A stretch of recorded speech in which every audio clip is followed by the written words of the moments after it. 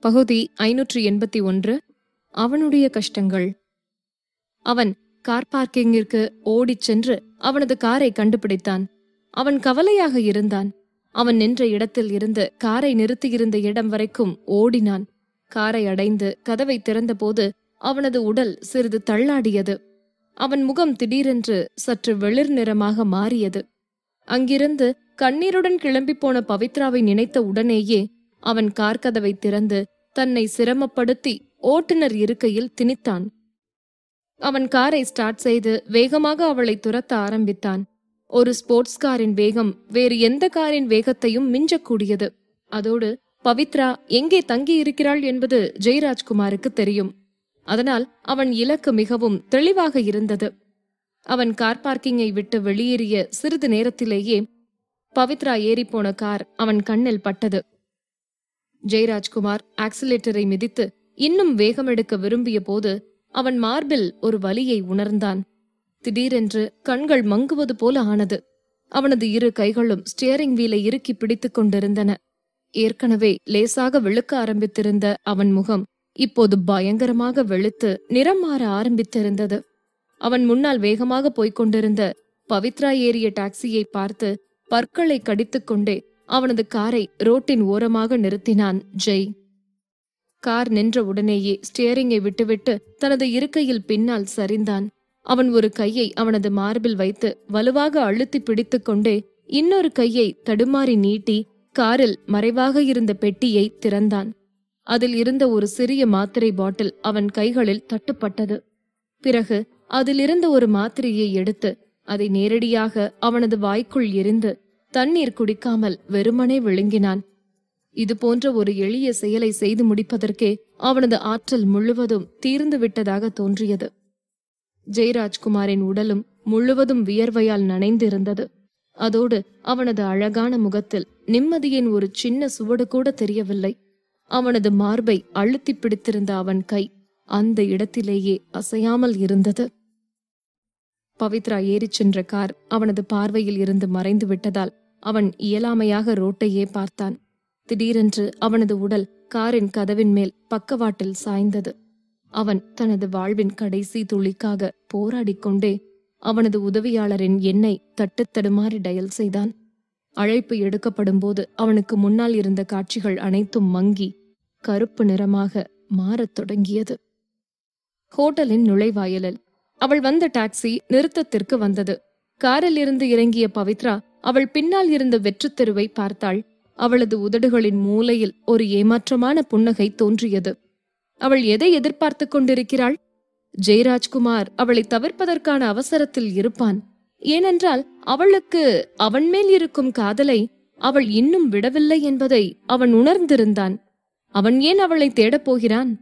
பவித்ரா டாக்ஸிக்கு பணம் கொடுத்துவிட்டு டிரைவருக்கு நன்றி சொன்னாள். பிறகு அவள் திரும்பி ஹோட்டலை நோக்கி நடந்தாள். லிப்டிலிருந்து வெளியே வந்து அவள் தனது அறையை நோக்கி நடந்தாள். கதவை திறந்து அறைக்குள் நுழையும் முன்னால் அவளையும் அறியாமல் லிப்ட் இருக்கும் திசையில் திரும்பி பார்த்தாள் அவள். அவள் பின்னால் யாரும் வரவில்லை என்பதை மீண்டும் மீண்டும் உறுதிப்படுத்திய பின் அமைதியான தோற்றத்துடன் அவள் அறைக்கதவை மூடினாள். அவள் கதவை மூடிய அந்த நொடியில் அவள் கண்ணங்கள் கண்ணீர் வழிந்து கரை அவள் கதவின் மேல் சாய்ந்தபடியே பலவீனமாக தரையில் சரிந்தாள். அவள் இரு கைகளாலும் முகத்தை மூடிக்கொண்டு அமைதியாக அழுதாள். பீப். அவள் செல்போன் ஒலித்தது.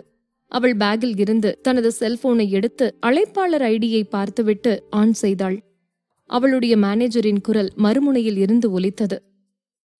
பவித்ரா ஒரு ஃபேமஸான பத்திரிக்கை அவங்களோட அட்டைப்படத்துக்கு உன்னை ஃபிக்ஸ் பண்ண விரும்புறாங்க. அதுக்காக நீ போட்டோ ஷூட் போக வேண்டியிருக்கும். நீ எப்பவும் விரும்புற பத்திரிக்கை அது. ஆனா அதோட போட்டோ ஷூட் வெளிநாட்டுல வைக்க அவங்க பிளான் பண்றாங்க. உன்னோட ஐடியா என்னன்னு கேட்கலாம்னு நினைச்சேன். பவித்ராவின் மேனேஜர் தயங்கி தயங்கி பேசினார். சரி நான் போறேன். பவித்ரா திடீரென்று சொன்னாள். அவள் கையை உயர்த்தி கண்களில் இருந்து வழிந்த கண்ணீரை மெதுவாக துடைத்தாள். மறுபடியும் அவள் தலையை உயர்த்திய போது அவளுடைய பார்வை அவளின் இயல்பான அமைதியான தோற்றத்திற்கு திரும்பி இருந்தது. அவள் கண்கள் மட்டும் சிவந்திருக்காவிட்டால் அவள் அழுததை யாரும் உணரமாட்டார்கள். சீக்கிரமா இங்கிருந்து கிளம்ப என்ன செய்யணுமோ எல்லா ஏற்பாடுகளையும் செஞ்சிருங்க. நான் நாளைக்கே இங்கிருந்து கிளம்பலான்னு இருக்கேன் என்றாள் தொடர்ந்து. இதற்கு மேலும் அவள் இங்கே இருந்தால் அவளால் தன்னை கட்டுப்படுத்திக் கொள்ள முடியாது. அவள் ஜெயராஜ்குமாரை மிஸ் பண்ணுவாள். அவனை சந்திக்க வேண்டும் என்ற வெறி வந்து கொண்டே இருக்கும். இது எல்லாவற்றிலும் இருந்து அவள் வெளியே வர வேண்டும். அதோடு இப்போதைய ஒரு பயணம் அவளுக்கு நன்றாக இருக்கும். அவள் மனம் அமைதிப்படும். அவள் அவனை பார்க்காமல் இருந்தால் அல்லது அவன் அவள் கண்ணில் படாமல் இருந்தால் தொடர்ந்து அவனை அவள் மனதில் நினைத்து கொண்டு இருக்க மாட்டாள். நாளைக்கே வா. பவித்ராவின் மேனேஜர் திகைத்துப் போனார். ஏன் இவ்வளவு அவசரம்? பவித்ரா நான் இன்னும் நிகழ்ச்சியோட விவரங்களை கூட உனக்கு அனுப்பல. அவர் குழப்பமாக பேசினார். பவித்ரா மெதுவாக எழுந்து நின்று அந்த அறை முழுவதையும் ஒரு முறை கண்களால் அளந்து கொண்டே சொன்னாள் அதெல்லாம் தேவையில்ல ஒப்பந்தத்துல எந்த பிரச்சனையும் இல்லைன்னு நீங்க நினைச்சா நான் கையெழுத்து போடுறேன். எனக்கு ஒன்னே ஒண்ணுதான் வேணும். ஷூட்டிங்க எவ்வளோ முன்னால பிளான் பண்ண முடியுமோ அவ்வளோ சீக்கிரமா பிளான் பண்ண சொல்லுங்க. நான் நாளைக்கே இந்த நாட்டை விட்டு போக விரும்புறேன். பவித்ரா தீர்மானமாக சொன்னாள்.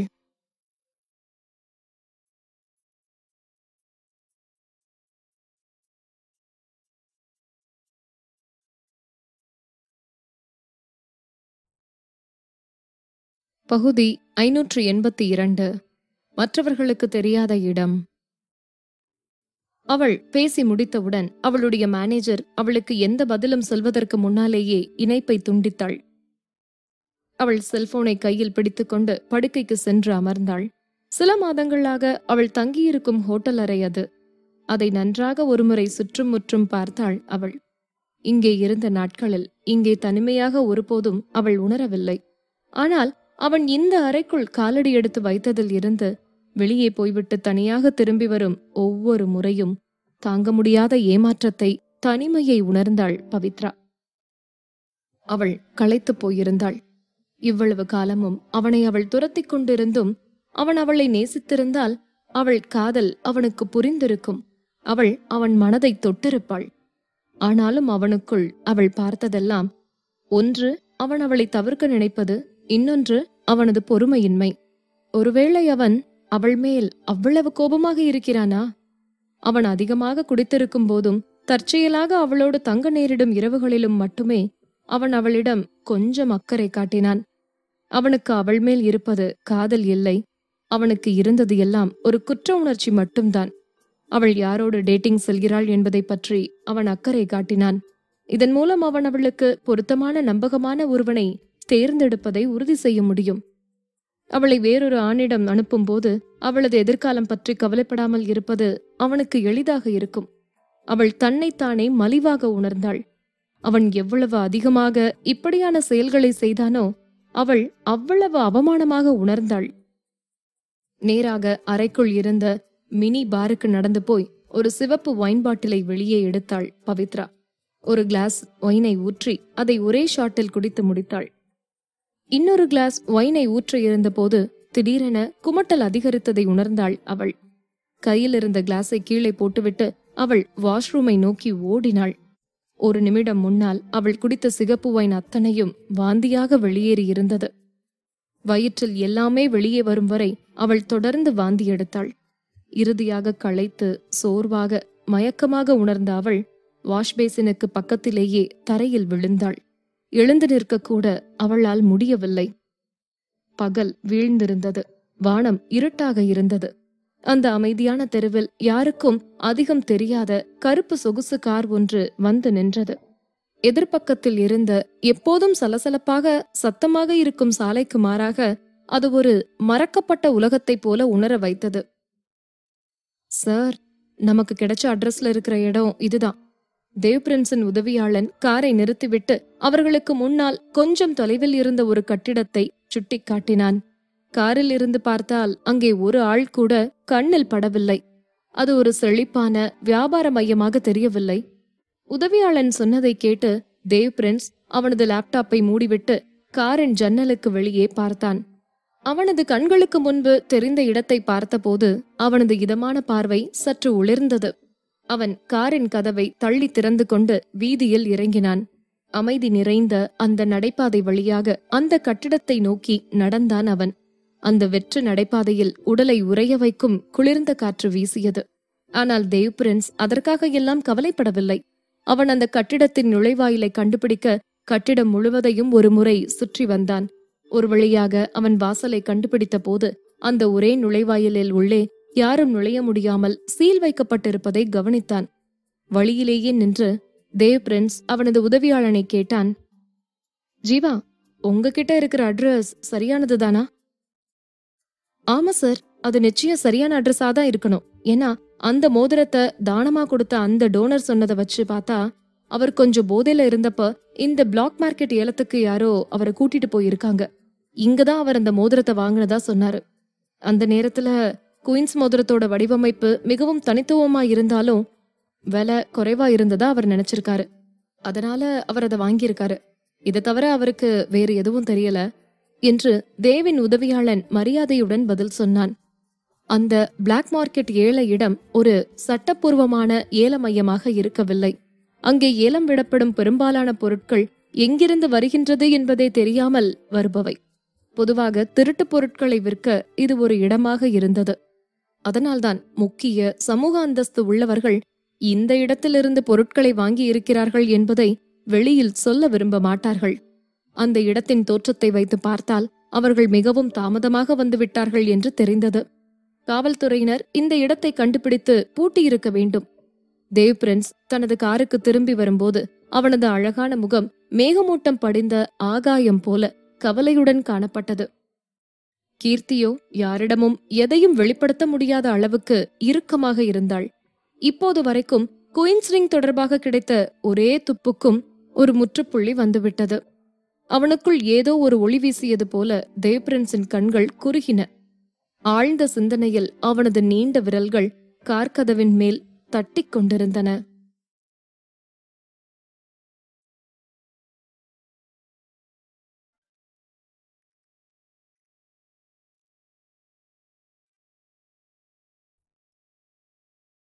பகுதி ஐநூற்றி எண்பத்தி மூன்று ஒரு கோடி நழுவியது. அவனது கண்கள் மீண்டும் அவனுக்கு முன்னால் இருந்த அந்த கட்டிடத்தின் மீது நிலைத்தது. ஜீவா இங்க சுத்தி இருக்கிற யார்கிட்டயாச்சும் விசாரிச்சு பாருங்க. இங்க பக்கத்துல இருக்கிற யாராவது இந்த மோதிரத்தை இதுக்கு முன்னால பாத்திருக்காங்களான்னு விசாரிச்சு கண்டுபிடிங்க. இங்க இருக்கிற திருடர்கள் மேல கொஞ்சம் கவனம் வச்சு அதை பத்தி அவங்க கிட்டயும் கேளுங்க. நமக்கு ஏதாவது தகவல் கிடைக்குதான்னு பாப்போம். என்றான் உதவியாளனிடம். ஏன்னா குயின்ஸ் மோதிரம் ஏலம் விடப்பட்ட பிளாக் மார்க்கெட்டுக்கு மேல பொதுமக்கள் அதிகம் நடமாடும் பகுதி இருந்தது. அதனால இந்த பகுதியில சுத்திக்கிட்டு இருக்கிற எல்லா திருடன்களுக்கும் இந்த பிளாக் மார்க்கெட் நல்லா தெரிஞ்சிருக்கும். அவங்கள யாராச்சும் இத பத்தி கேள்விப்பட்டு இருந்தாலும் இருக்கலாம். யாராவது ஒருவராவது இந்த மோதிரத்தை இதுக்கு முன்பு பார்த்திருக்க சாத்தியம் இருக்குது. உதவியாளன் தேவ் பிரின்ஸ் எதை குறிப்பிடுகிறான் என்பதை விரைவாக புரிந்து கொண்டு எஸ் சார். நான் யாரையாவது அனுப்பி குயின்ஸ் மோதிரத்தின் புகைப்படத்தை வரவழைக்கிறேன். பிறகு இந்த இடத்தை சுத்தி விசாரிக்கிறேன் என்றான். தேவின் உதவியாளன் ஜீவா தகவலை வெளியிட்ட ஒரு மணி நேரத்திற்குள் அவனது செல்போன் ஒலித்தது. அவன் அழைப்பை எடுத்தான். சிறிது நேரத்திற்கு பிறகு அவர் ஒரு ஆச்சரியமான வெளிப்பாட்டுடன் திரும்பி சார் யாரோ ஒரு ஆளு இதுக்கு முன்னாடி குயின்ஸ் மோதிரத்தை பார்த்திருக்கிறதாகவோ? அவனால குயின்ஸ் மோதிரத்தை குறித்து தடையோ எதையோ சொல்ல முடியும்னு சொல்லியிருக்காரு. அந்த ஆள் உங்களை சந்திக்க விரும்புறார் என்றான்.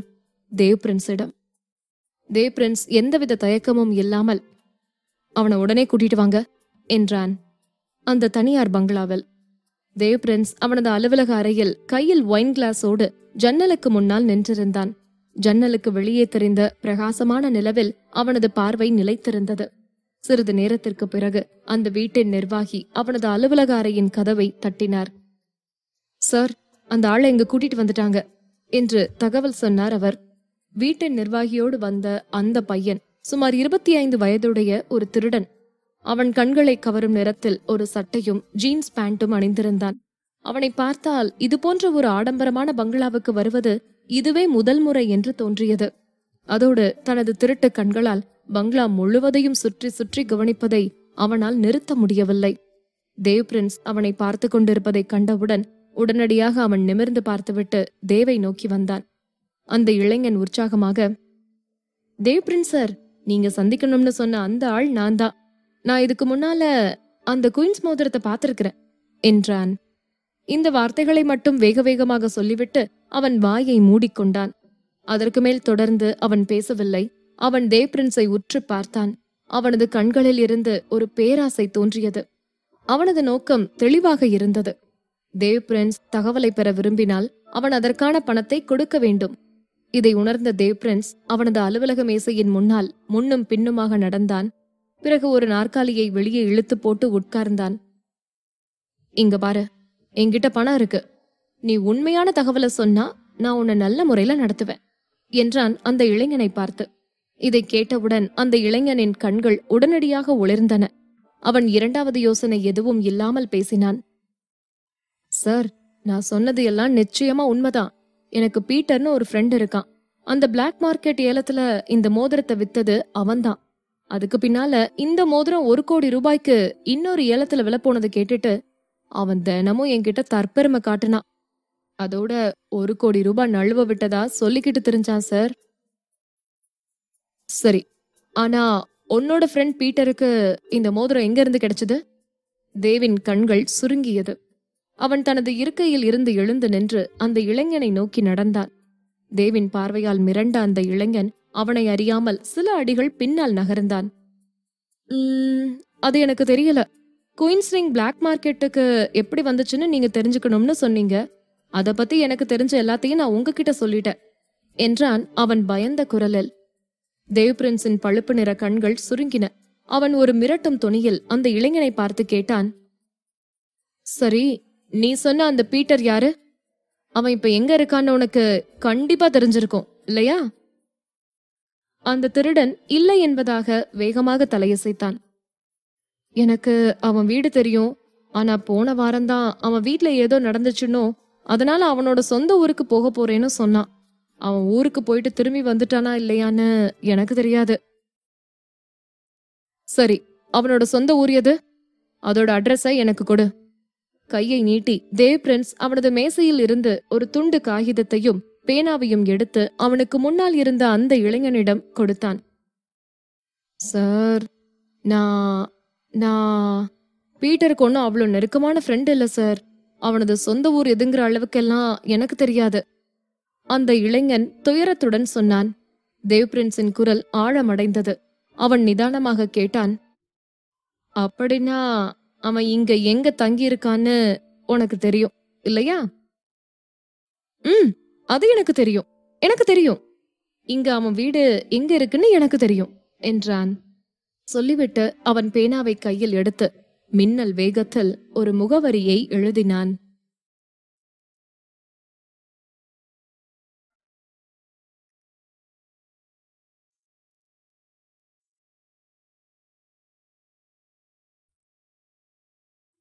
பகுதி ஐநூற்று எண்பத்தி நான்கு. அன்பு அன்பு அன்பு நான் உன்னை மிகவும் நேசிக்கிறேன்.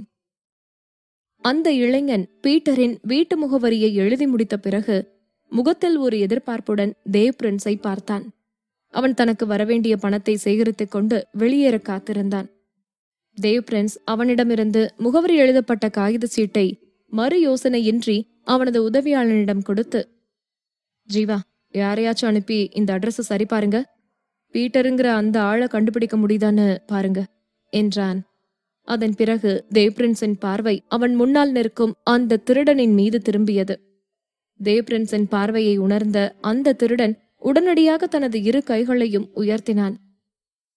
தேவ் சார் எனக்கு தெரிஞ்சது எல்லாத்தையும் நான் உங்ககிட்ட சொல்லிட்டேன். வேற எதை பத்தியும் எனக்கு தெரியாது. நான் உண்மையாவே சொல்றேன். நீங்க என்ன நம்பலாம். அது தவிர எனக்கும் குயின்ஸ் மோதிரத்துக்கும் எந்த தொடர்பும் இல்ல. அது எல்லாத்தையுமே செஞ்சது பீட்டர் தான் என்றான் பதட்டமாக. அவன் சொன்னதை தேவ் பிரின்ஸ் கண்டுகொள்ளவே இல்லை.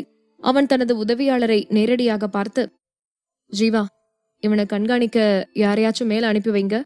நாம பீட்டரை கண்டுபிடிக்கிற வரைக்கும் இவனை எங்கேயும் போக அனுமதிக்க வேண்டாம் என்று உத்தரவிட்டான். சரிங்க சார். உதவியாளன் தேவுக்கு பதில் சொல்லிவிட்டு சிறிது நேரத்திலேயே அந்த இளைஞனை அங்கிருந்து வெளியே அழைத்துக் கொண்டு போனான். அலுவலக அறை மீண்டும் அமைதிக்குள் விழுந்தது. ஜன்னலுக்கு வெளியே இருந்து மங்கலான நிலவொளி மட்டுமே உள்ளே பிரகாசித்துக் கொண்டிருந்தது. தேவ்பிரன்ஸ் மறுபடியும் வந்து ஜன்னலுக்கு முன்னால் நின்றபோது டேனியும் கீதாவும் பொருத்தமான ஜோடியாக மாலில் நின்றிருந்த காட்சி அவனது நினைவுகளில் வந்தது. அவனுக்கு அதிக நேரம் இல்லை. கீதா உண்மையாகவே அவனது மாயா என்றால் உடனடியாக அவளது அடையாளத்தை நிரூபிக்கும் ஆதாரங்களை அவன் கண்டுபிடிக்க வேண்டும். குயின்ஸ் ரிங் தான் தற்போது அவன் கையில் இருக்கும் ஒரே எவிடன்ஸ். டேனியல் மாளிகை. கீதா அவளது உடைகளை மாற்றிக்கொண்டாள் அவள் படுக்கைக்கு வந்து வசதியாக சாய்ந்து படுத்தபோது டேனியின் கை அவளை படுக்கையில் இருந்து மேலே இழுத்தது.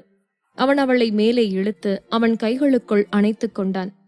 தனித்துவமான முக அம்சங்களைக் கொண்ட அவனது அழகான முகத்தை அவள் அருகே சாய்த்து கீதா எனக்கு ஒரு ஆச்சரியம் வச்சிருக்கேன்னு சொன்னல எங்க என்னோட ஆச்சரியம்? என்று மென்மையாக கேட்டான். கீதா அவன் கையை தட்டி விட்டு விட்டு டேனி நான் இப்ப ரொம்ப டயர்டா இருக்கேன். இன்னைக்கு முழு நாளும் ஷாப்பிங் பண்ணதிலேயே போயிடுச்சு. உங்களோட ஆச்சரியம் என்னன்னு நாளைக்கு சொல்றேன் என்றாள். அப்போது நள்ளிரவாக இருந்தது. அந்த நேரத்தில் அவள் அந்த உடையை அணிந்தாள் என்றால் அதன் பிறகு அவன் அவளை எப்படி சித்திரவதை செய்வான் என்று அவளால் கணிக்க முடியவில்லை. ஒரு பாதுகாப்பிற்காக அவள் பகலில் மட்டுமே அந்த உடையை அவனுக்கு போட்டுக் காட்ட விரும்பினாள். அவன் வெளியே கிளம்பிக் கொண்டிருக்கும் போது அவள் அதை செய்தால் நல்லது. ஏனென்றால் அப்போதுதான் அவள் பாதுகாப்பாக இருப்பதற்கான வாய்ப்புகள் மிக அதிகமாக இருக்கும். எல்லாவற்றிற்கும் மேலாக இந்த ஆச்சரியத்துடன் அவன் கண்களுக்கு ஒரு விருந்தளிக்க மட்டுமே அவள் திட்டமிட்டிருந்தாள். அவள் அவனுக்கு அவளை கொடுக்க திட்டமிடவில்லை. இந்த யோசனையோடு கீதா அவனிடம் இருந்து தன்னை விலக்கிக் கொண்ட பின் போர்வையை இழுத்து காலிலிருந்து தலைவரை போர்த்திக் கொண்டு படுக்கையில் படுத்துக் கொண்டாள். அவள் ஒரு அழகான தூக்கத்தை திட்டமிட்டுக் கொண்டிருந்த போது அவள் அருகில் இருந்த மனிதன் படுக்கையில் இருந்து எழுவது தெரிந்தது. அவன் நேராக துணிகள் வைக்கும் அலமாரிக்குப் போய் அதன் கதவுகளை திறந்தான். இன்று அவள் வாங்கி வந்த பொருட்கள் அனைத்தையும் எடுத்து அவனது பரிசை கண்டுபிடிப்பதற்காக ஒவ்வொன்றாக புரட்டினான். கீதா என்னோட ஆச்சரியம் எங்க இருக்கு? டேனி ஒவ்வொரு பையையும் பிரித்து பார்த்துவிட்டு அவை எல்லாவற்றிலும் பெண்கள் மற்றும் குழந்தைகளுக்கான பொருட்கள் இருப்பதை உணர்ந்த பிறகு அவனது அழகான முகம் ஒரு கணத்தில் கருமையாக மாறியது. அவள் அன்றைக்கு ஒரே நாளில் இரண்டு முறை ஷாப்பிங் போய் அவளுக்கும் ஜெனிக்கும் பொருட்களை வாங்கியிருந்தாள். அவனுக்கு மட்டும் அவள் எதையும் வாங்கவில்லை. அவள் அவனை புறக்கணிக்கிறாள் என்று அவன் நினைத்துக் கொள்வானோ என்று அவனுக்கு ஒரு ஆச்சரியம் இருப்பதாக அவனிடம் பொய் சொன்னதாக நினைத்தான் டேனி. தனது கைகளில் இருந்த பைகளை தரையில் வீசினான் டேனி. பிறகு மறுபடியும் படுக்கைக்குச் சென்று போர்வைக்கு கீழ் இருந்த அவளை வெளியே இழுத்தான். கீதா நீ என்னை நேசிக்கலையா? கீதா சிரமப்பட்டு கண்களை திறந்தாள். அவளுக்கு உண்மையாகவே அவ்வளவு சோர்வாக இருந்தது. ஆனாலும் அவள் உதடுகளை குவித்துக் கொண்டு அவன் அழகான முகத்தில் முத்தமிட்டாள். டேனி நான் உங்களை ரொம்ப ரொம்ப நேசிக்கிறேன். சொன்ன பேச்ச கேட்டு சீக்கிரம் வந்து படுத்து தூங்குங்க என்றாள் கீதா. ஜெனியை சமாதானம் செய்ய அவள் பயன்படுத்தும் முறை இது. அவள் ஒரு மூன்று வயது குழந்தையை எப்படி சமாதானம் செய்வாளோ அப்படியே அவனையும் சமாதானம் செய்து கொண்டிருந்தாள். டேனி திகைத்துப் போனான். அவள் கன்னத்தை உடனடியாக அவன் கையில் ஏந்தி பிடித்து கொண்டு சரி நீ என்ன நேசிக்கிறேனா? என்னோட ஆச்சரியம் எங்க? என்று கேட்டான் அவன். அவனது அணைப்பில் சாய்ந்து கொண்டு அலறினாள் கீதா. அவன் ஆச்சரியம் என்ன என்பதை தெரிந்து கொள்ள மிகவும் விடாப்பிடியாக இருப்பதை பார்த்துவிட்டு அவள் சோம்பலாக அவளது விரலை துணிகள் அலமாரியை நோக்கி சுட்டிக்காட்டி நான் உங்களுக்காக ஒன்று வச்சிருக்கேன்னு சொன்னது அந்த சிவப்பு ட்ரெஸ்ஸை தான். நாளைக்கு அதை உங்களுக்கு போட்டு காட்டுறேன் என்றாள்.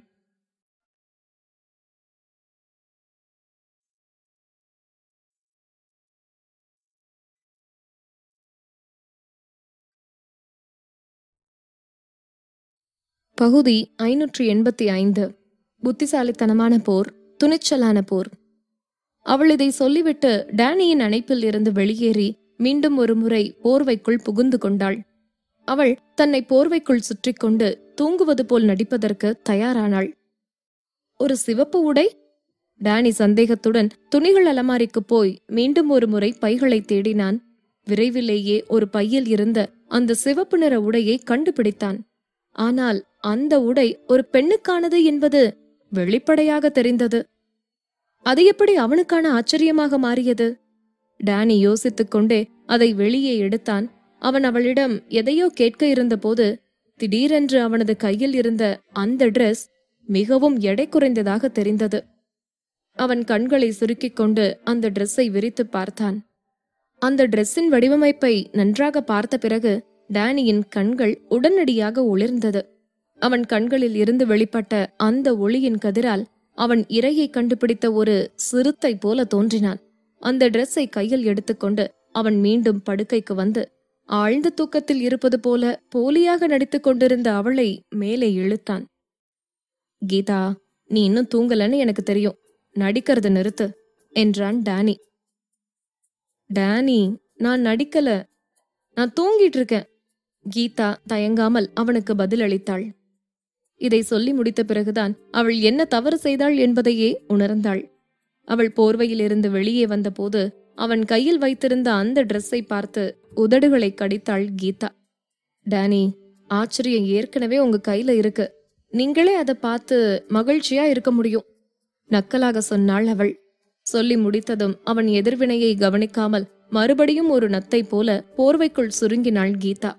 அவன் அவளை தூங்க விடாமல் தடுப்பானா? என்று அவள் யோசித்துக் கொண்டிருந்தாள். ஆனால் அவள் மறுபடியும் படுக்கையில் படுத்த போதும் டேனி எந்த ரியாக்ஷனையும் காட்டாமல் அமைதியாக இருந்தான். பிறகு அவளோடே அந்த போர்வைக்குள் நுழைந்து படுத்துக்கொள்ள அவன் தயாரானான். அதை உணர்ந்த கீதா பதட்டமானாள். Danny Danny wait! நான் உங்களுக்கு தெளிவா சொல்றேன். நான் ரொம்ப சோர்வா இருக்கேன். எனக்கு இப்ப துணிய மாத்த கூட எனர்ஜி இல்ல. இப்ப என்ன நீங்க தூங்க விடலன்னா உங்களோட வருங்கால மனைவிய நீங்க இழப்பீங்க.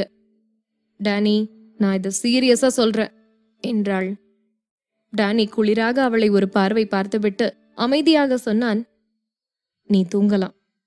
அதை கேட்டு அவள் ஒரு பெருமூச்சு விடும்போது அவன் மெதுவாக தொடர்ந்தான்.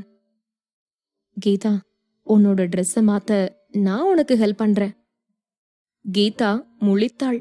பிறகு அவன் உண்மையாகவே தனிப்பட்ட முறையில் உடைமாற்ற உதவினான். கீதா முதல் முறையாக அவன் ஆடைகளை கழற்றுவதிலும் மாற்றுவதிலும் மிக வேகமாக இருப்பதை உணர்ந்தாள். என்ன நடக்கிறது? என்று அவளுக்கு தெரியும் முன்பு அவன் அவள் உடைகளை மாற்றியிருந்தான் அவள் உடலை இறுக்கமாக பிடித்திருந்த அந்த ட்ரெஸ்ஸை அணிந்தவுடன் அவளுக்குள் இருந்த தூக்கம் ஒரு தடயமும் இல்லாமல் உடனடியாக மறைந்து போனது. அவள் கவலையோடு படுக்கையில் எழுந்து உட்கார்ந்து போர்வையை பறிக்க கையை நீட்டினாள். நீட்டிய அவள் கையை பிடித்துக்கொண்டு அவள் எழுந்து நிற்க உதவினான் டேனி. டேனி நான் எழுந்திருச்சு நிக்க மாட்டேன். கீதா அவன் பிடியிலிருந்து விடுபட்டு ஓட இருந்தபோது டேனியிடம் பிடிபட்டாள். அவளை அணைத்துக் கொண்டபடியே டேனி திரும்பி கண்ணாடியை நோக்கி நடந்தான். கண்ணாடியின் முன்னால் நிறுத்தி அவளை சரியாக நிற்க சொன்னான். கீதாவின் முழு உடலும் அவனது எரியும் பார்வையால் நடுங்கியது. அவள் அவன் சொல்வதை கேட்க மறுத்தாள். டேனி அவனது பிடியை விடுவித்த தருணத்தை பயன்படுத்திக் கொண்டு அவள் அந்த ட்ரெஸ்ஸை கழற்ற தயாரானாள். ஆனாலும் அவள் மீண்டும் டேனியிடம் பிடிப்பட்டாள் கீதா எனக்கு ஒரு ஆச்சரியம் இருக்குன்னு என்கிட்ட சொன்னது நீதான் அவளது தோள்களை அவன் இரு கைகளாலும் அழுத்தி பிடித்து அவளை அவன் முன்னால் நிற்க வைத்தான். பிறகு கண்களை தாழ்த்தி அவளது கவர்ச்சியான உருவத்தை பார்த்தான். அவள் மிகவும் ஒல்லியாக இருந்தாள். எல்லா பகுதிகளும் சரியான அளவில் இருந்தன. அவள் அழகாக இருந்தாள். அந்த உடையின் ஆழமான வீ கழுத்தால் வெளிப்பட்ட அவளது மார்பு பிளவுகள் விதிவிலக்காக கவர்ந்திழுக்கும்படியாக இருந்தது. அந்த சிவப்பு உடை அவளது வெளிர்ந்த மென்மையான தோலுக்கு மிகவும் பொருத்தமாக இருந்தது. மேலும் அது அரை விளக்குகளின் வெளிச்சத்தில் புதிதாக பிறந்த ஒரு குழந்தையின் தோலைப் போலவே பளிச்சென்று மென்மையாக இருந்தது. டேனி தொடர்ந்து அவனது பார்வையை கீழே நகர்த்திக் கொண்டிருந்த போது கீதா வெட்கத்தோடு அவள் கைகளை உயர்த்தி கண்களை மூடிக்கொண்டாள். டேனி நல்லா யோசிச்சு பார்த்துக்கோங்க நான் இப்போ ஒரு சிறப்பான கட்டத்துக்கு வந்திருக்கேன். நான் உங்களோட வழிஞ்சு ஊர் சுத்தி உல்லாசமா இருந்த பின்னால நான் பொறுப்பெடுத்துக்க மாட்டேன் என்றாள் குறும்பு நிறைந்த குரலில். இதை கேட்ட டேனியின் உதடுகள் பிசாசை போன்ற ஒரு அழகான புன்னகையால் வளைந்தது. கண்களை மூடிக்கொண்டிருந்த அவள் கைகளை மெதுவாக விலக்கிக் கொண்டே அவன் கூலாக சொன்னான் கீதா உன்னோட பீரியட்ஸ் முடிஞ்சது எனக்கு தெரியாதுன்னு நீ நினைச்சிட்டு இருக்கியா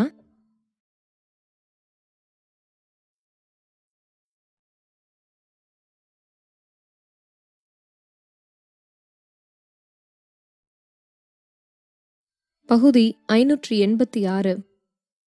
இப்போது நீ என்னை என்ன சொல்லி அழைத்தாய்? டேனி சொன்னதை கேட்டு கீதா திகைத்தாள். டேனியின் ஆழமான பார்வையை சந்தித்த போது அவளுக்கு நடுக்கம் வந்தது. அவளது நரம்புகள் எல்லாம் சில்லிட்டது போல ஆனது. அவள் உடனடியாக அங்கிருந்து ஓடிவிட முடிவு செய்தாள். ஆனால் அவள் ஒரு அடி எடுத்து வைக்கும் போதே அவன் அவளை பின்னால் இருந்து இழுத்து பிடித்தான். அவள் பயத்தோடு துணிகள் வைக்கும் அலமாரியின் மேல் சாய்ந்தபடி அவனை பார்த்தாள்.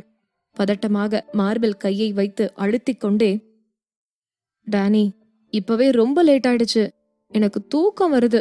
நீங்க ஏதாச்சும் பேசணும்னா நம்ம நாளைக்கு பேசிக்கலாம். என்றாள் மெதுவாக. ம் ஆமா. இப்பவே ரொம்ப லேட் ஆயிடுச்சு இது தூங்குற நேரம். டானி புருவங்களை உயர்த்தியபடி கடைசி வார்த்தையை அழுத்திச் சொன்னான். தூங்குறதா? அவங்க எப்படி தூங்க போறாங்க? அவள் அணிந்திருந்த உடையை ஒருமுறை கீழே குனிந்து பார்த்துவிட்டு அந்த உடையை வாங்கியதற்காக கீதா இப்போது ரொம்ப ரொம்ப வருத்தப்பட்டாள். ஒரு சின்ன தடுமாற்றம் கூட எப்போதும் நீங்காத வருத்தத்தை தரவல்லது. அவள் மனதிற்குள் நினைத்துக் கொண்டாள். இந்த பசி கொண்ட ஓநாயை எப்படி அவள் தடுத்து நிறுத்தப் போகிறாள்? கடந்த ஒரு வாரமாக அவள் மாதவிலக்காக இருப்பதை பயன்படுத்திக் கொண்டு அவனிடம் வழிந்தும் அவனை கேலி செய்தும் உசுப்பேத்தி இருந்தாள் அவள். இப்போது ஆழமான இருண்ட கண்களால் அவளை உற்று பார்க்கும் அவன் பார்வையை உணர்ந்த போதே அவளை அறியாமல் அவளுக்கு இடுப்பு வலிப்பது போல் இருந்தது. அவள் ஒருமுறை அவள் கண்களை சுழற்றிவிட்டு திடீரென்று அவளை டேனியின் அணைப்பிற்குள் புகுத்திக் கொண்டாள். அவளது கையால் அவனது இடுப்பை வளைத்து பிடித்துக்கொண்டு தலையை உயர்த்தி அவனை பார்த்தாள் கீதா. பிறகு அவள் அவனை இனிமையாக அழைத்தாள். ஹப்பி? கீதாவின் கிரக்கமான குரலில் ஹப்பி என்னும் வார்த்தையை கேட்டபோது டேனியின் உடல் உறைந்தது. அவன் கண்களை சுருக்கிக் கொண்டு அவளை பார்த்தான். அவனது அமைதியான முகவெளிப்பாடு குழப்பமாக மாறியது. அவனுக்கு முன்னால் கீதா செயல்பட்டு அவனை அணைத்துக் கொண்டு ஒருபுறம் இருக்க அவளது அந்த வார்த்தை அவனை கிளர்ந்தெழச் செய்தது. மூன்று வினாடிகளுக்கும் குறைவாக ஒருவரை ஒருவர் பார்த்து கொண்டிருந்து விட்டு டேனி அவளை இன்னும் இறுக்கமாக அணைத்துக் கொண்டான். பிறகு அவள் முகத்தை அவனது இரண்டு கைகளாலும் ஏந்திக் கொண்டான். அவனது கண்கள் ஆழமாகவும் அவனது பார்வை ஆத்மார்த்தமாகவும் இருந்தது. கீதா அவனது மார்பில் அவள் தலையால் உரசினாள். அவனது கண்களை பார்ப்பதை தவிர்த்து கொண்டே நான் சோர்வா இருக்கேன் எனக்கு தூங்கணும் என்றாள். கீதா கோபத்தில் துடித்தாலும் பாவமாக இருப்பது போல நடித்தாள். எப்பொழுது ஜெனி இப்படி அவனிடம் நடந்து கொள்கிறாளோ அப்போதெல்லாம் டேனி வருத்தப்பட்டு அவள் என்ன கேட்கிறாளோ அதை கொடுத்து விடுவான். கீதா நீ எனக்கு என்னவோ சர்ப்ரைஸ் கொடுக்க போறேன்னு நீயே தான் சொன்ன. ஆனா இப்ப உன்னோட வார்த்தைகளை நீயே மீற போறியா? டேனி மெதுவாக கேட்டான். அவள் முகத்தில் இருந்த நயவஞ்சகமான தோற்றத்தை கவனிக்க தவறவில்லை அவன். அவன் அணைப்பிற்குள் இருக்கும் அவனுடைய அந்த பெண் நரியைப் போல புத்திசாலித்தனமானவள் என்பதை அவன் மறக்கவில்லை. எப்போதும் கூர்மையாக கவனமாக இருக்கும் அனுபவசாலிகளான பிசினஸ்மேன்கள் கூட இவளது தந்திரத்தில் விழுந்திருக்கிறார்கள். அவள் ஈஸியாக ஒருவரிடம் சரணடைகிறாள் என்றால் அவள் கீதாவே அல்ல. அவள் முகத்தை மென்மையாக கிள்ளியபடி டேனி சொன்னான் நீ கொஞ்சம் முன்னால என்னை என்ன சொல்லி கூப்பிட்ட? இன்னொரு தடவை சொல்லு. பிறகு நீ தூங்க போலாமா வேணாமான்னு நான் யோசிக்கிறேன் என்றான். அவள் அவன் மார்பிற்குள் புகுந்து கொண்டு தயங்காமல் போய் சொன்னாள். எனக்கு ரொம்ப டயர்டா இருக்கிறதால நான் என்ன சொன்னேன்னு மறந்துருச்சு. நான் தூங்கி எழுந்திருச்சதும் ஞாபகப்படுத்தி சொல்றேன். சரி லேட்டானது ஆயிடுச்சு. நீ கொஞ்சம் சரியா நிமிந்து நில்ல. நீ தூங்க போறதுக்கு முன்னாடி எனக்கு சர்ப்ரைஸ் கொடுக்க நீ வாங்கின இந்த ட்ரெஸ்ல உன்னை நான் ஒரு தடவை நல்லா பாத்துக்கிறேன். டேனி தனிவான ஆனால் கவர்ச்சியான குரலில் அவள் காதில் சொன்னான். அவன் சொன்னதை கேட்டவுடன் கீதாவின் கண்கள் பளபளத்தன. அவள் சந்தோஷமாக அவனை தலையை உயர்த்தி பார்த்து அவளது சுண்டு விரலை அவனை நோக்கி நீட்டினாள். நீங்க என்ன ஒரு தடவை நல்லா பார்த்த உடனே எதுவும் செய்யாம என்ன தூங்க விடுவேன்னு ப்ராமிஸ் பண்ணுங்க என்றாள் கீதா. ஆனா அதுக்கு முன்னால நான் என் ஆச்சரியத்தை பார்க்கணும் என்றான் டேனி. சொல்லிக்கொண்டே கீழே குனிந்த டேனி அவள் எப்படி அவனோடு ஒட்டிக்கொண்டு நின்றிருக்கிறாள் என்பதை கவனித்துவிட்டு அவளை மேலும் கீழுமாக ஒரு முறை பார்த்தான். அவன் உடலோடு அவளை அவள் எங்கே மறைத்துக்கொண்டு நின்றாலும் அவனால் அவளை பார்க்க முடியும் என்று தெரியும் அவளுக்கு. அவனோடு அவள் ஒட்டி நின்று கொண்டிருக்கும் போது அவள் உடலின் பாகங்களை அவனால் சரியாக பார்க்க முடியாவிட்டாலும் அவன் கண்கள் மட்டும்தான் அவள் உடல் முழுவதையும் பார்க்கவில்லை. ஆனால் அவனது உடல் அவளை முழுவதுமாக உணர்கிறது. அவள் ஏற்கனவே அவனுக்குள் நெருப்பை பற்ற வைத்திருக்கிறாள். கீதா இப்போது நெருப்போடு விளையாடிக் கொண்டிருக்கிறாள். அவளது தோள்களை பிடித்து டேனி அவளை தள்ளி நிறுத்தினான். அவனுக்கு ஆச்சரியம் கொடுப்பதற்காக அவள் வாங்கி வந்திருந்த அந்த உடையில் அவன் அவளை ஒருமுறை நன்றாக பார்த்து விட்டான் என்றால் பிறகு அவள் நிம்மதியாக தூங்கப் போகலாம் என்ற நினைப்போடு கீதா அவன் முன்னால் நின்றாள். அந்த உடையின் வடிவமைப்பின் சிறப்பு என்னவென்றால் முதுகில் இருக்கும் வடிவமைப்புதான். ஆம் அது முதுகு முழுவதையும் வெளியே தெரியும்படி தைக்கப்பட்ட வடிவமைப்பு.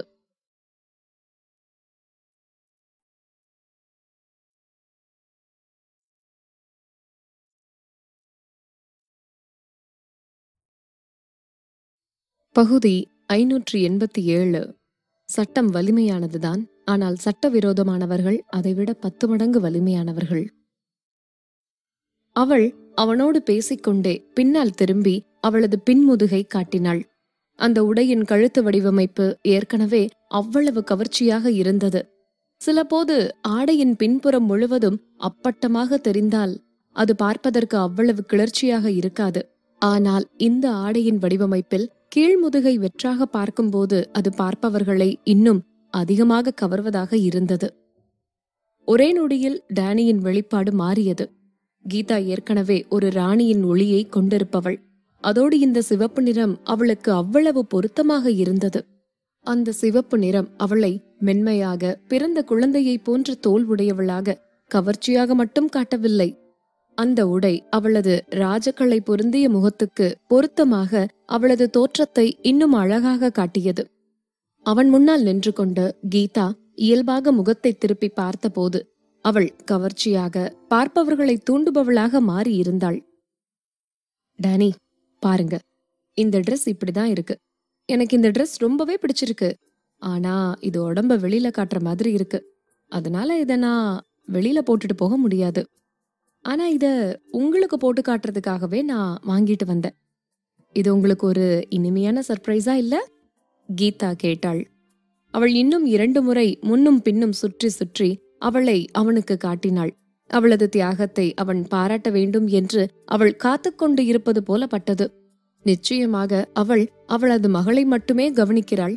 அவனை பற்றி அவள் அக்கறை கொள்ளவில்லை என்று அவனால் இப்போது பொறாமைப்பட முடியாது. எனக்கு ரொம்ப ரொம்ப சர்ப்ரைஸா இருக்கு. அவளுக்கு பதில் சொன்ன போது டேனியின் இருண்ட கண்கள் சுருங்கின. அவள் அவனை ஆச்சரியம் மட்டும் படுத்தவில்லை அவள் அவனை மயக்கவும் செய்திருந்தாள். அவன் அந்த உடையில் அவளை பார்த்து மிகவும் கிறங்கி போயிருந்தான். அப்படின்னா நான் போய் தூங்கட்டுமா? அவனது பதிலை கேட்டு அவள் மகிழ்ச்சியாக கேட்டாள். அவன் அவனது ஆச்சரியத்தை ஒருமுறை நன்றாக பார்த்த பிறகு அவளை தூங்கப் போக விடுவதாக வாக்கு கொடுத்திருக்கிறான். அவள் கீழே கிடந்த அவளது இரவு உடையை மாற்றிக்கொள்வதற்காக குனிந்து கையில் எடுத்தாள். ஆனால் அவள் ஒரு அடி நகர்வதற்கு முன்பே டேனி அவள் முன்னால் இருந்தான். அவளது தோள்களைப் பற்றி இழுத்து அவளை துணிகளை வைக்கும் அலமாரியின் மேல் சாய்த்து நிறுத்தினான். பிறகு அவளது உதடுகளை அவன் உதடுகளால் பூட்டினான். உம் கீதா திணறினாள்.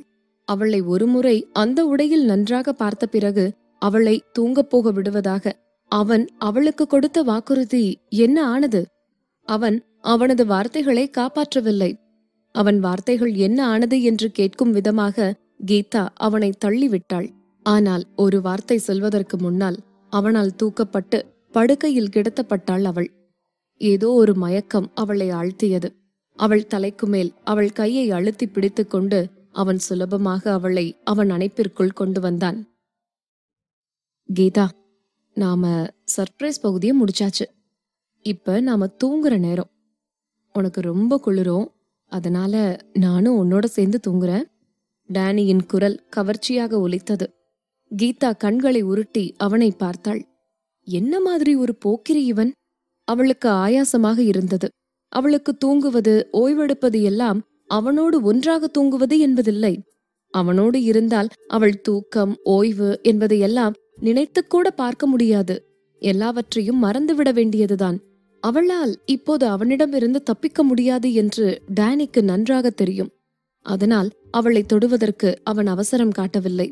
அவளுக்கு மென்மையாக முத்தம் கொடுத்த பின் அவளது வேதனையான முகத்தை கவனித்தான் அவன். என் மேல கோபமா இருக்கியா? அவன் கேட்டான். கடைசியாக வாயை திறந்து பேச வாய்ப்பு கிடைத்தது அவளுக்கு. அவள் உடனடியாக கோபமாக கேட்டாள். நீங்க உங்க ப்ராமிஸ உடைச்சிட்டீங்க. நீங்க உங்க வார்த்தைகளை மீறிட்டீங்க. அவள் சொன்னதை கேட்டவுடன் டேனி புருவத்தை உயர்த்தி அவளை பார்த்தான். நானா? டேனி கேட்டான். ஆமா நீங்க தான் நான் அந்த ட்ரெஸ்ஸை உங்களுக்கு போட்டு காட்டுனா ஒரு தடவை நல்லா பார்த்துட்டு என்னை தூங்க போக விடுறேன்னு நீங்க சொன்னீங்க. சொல்லிவிட்டு அவளது கோபமான பார்வையில் அவன் எரிந்து விட வேண்டும் என்பது போல அவனை முறைத்து பார்த்தாள் கீதா. சரி நல்லது. நீ தூங்கு. டேனி அவளுக்கு பதில் சொன்னான். அவனை உசுப்பேத்தி விட்டுவிட்டு அவன் உணர்ச்சிகளின் மையத்தில் இருக்கும்போது தூக்கம் வருவதாக சாக்கு சொல்லி தப்பிக்க நினைக்கும் அவளை நினைத்தான் டேனி. பிறகு அவனது முடிவை நினைத்து அவள் சந்தோஷப்படுவதற்கு முன்னாலேயே அவன் மீண்டும் சொன்னான். எனக்கு என்ன வேணுமோ அதை நான் பண்ணிக்கிறேன். உனக்கு வேணும்னா நீ தூங்கிக்க. கீதா திகைப்போடு அவனை பார்த்தாள். டேனி இருங்க இருங்க. அவனுக்கு அவள் உணவாகப் போவதை உணர்ந்த கீதா அவளது தோல்வியை ஒப்புக்கொள்ளும் முன்னால் கடைசியாக இன்னொரு முயற்சி செய்ய நினைத்தாள். எனக்கு கடைசியா ஒரு வேண்டுகோள் இருக்கு. அவள் பாவமாக முகத்தை வைத்துக்கொண்டு சொன்னாள். அவன் செய்ய ஆரம்பித்ததை நிறுத்திவிட்டு அவள் சொன்னதை கேட்டு தலையை உயர்த்தி அவளை பார்த்தான் டேனி. அவன் கண்கள் அவளை பேசலாம் என்று சொன்னது. எனக்கு பசிக்குது. எனக்கு ஏதாச்சும் சாப்பிடணும். என்னை முதல்ல சாப்பிட விடுங்க. அவனிடம் இருந்து தப்பிக்க வேறு எந்த காரணத்தையும் யோசிக்க முடியாமல் அவசரமாக இரு காரணத்தை கண்டுபிடித்தாள் கீதா. நீ கஷ்டப்படவே தேவையில்ல. நான் உனக்கு உடனேயே உணவளிக்கிறேன் என்றான் டேனி. அவன் சொன்னது புரியாமல் முழித்தாள் கீதா.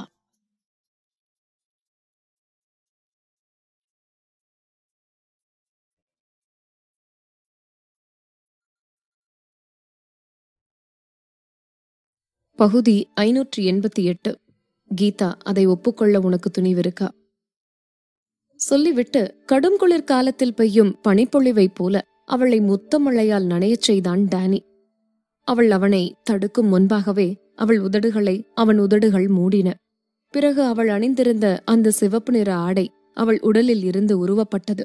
அவள் உடையை உருவுவதை பாதியில் நிறுத்திவிட்டு டேனியின் ஆழ்ந்த கண்கள் பாதி நிர்வாணமான அவளது மயங்கிய கண்களை உற்று பார்த்தன. டேனி கீதா பதட்டமாக அவளை மறைத்துக் கொள்ள முயன்றாள். ஆனால் அவள் கைகளை எங்கே வைத்து மறைப்பது என்று அவளுக்கு தெரியவில்லை.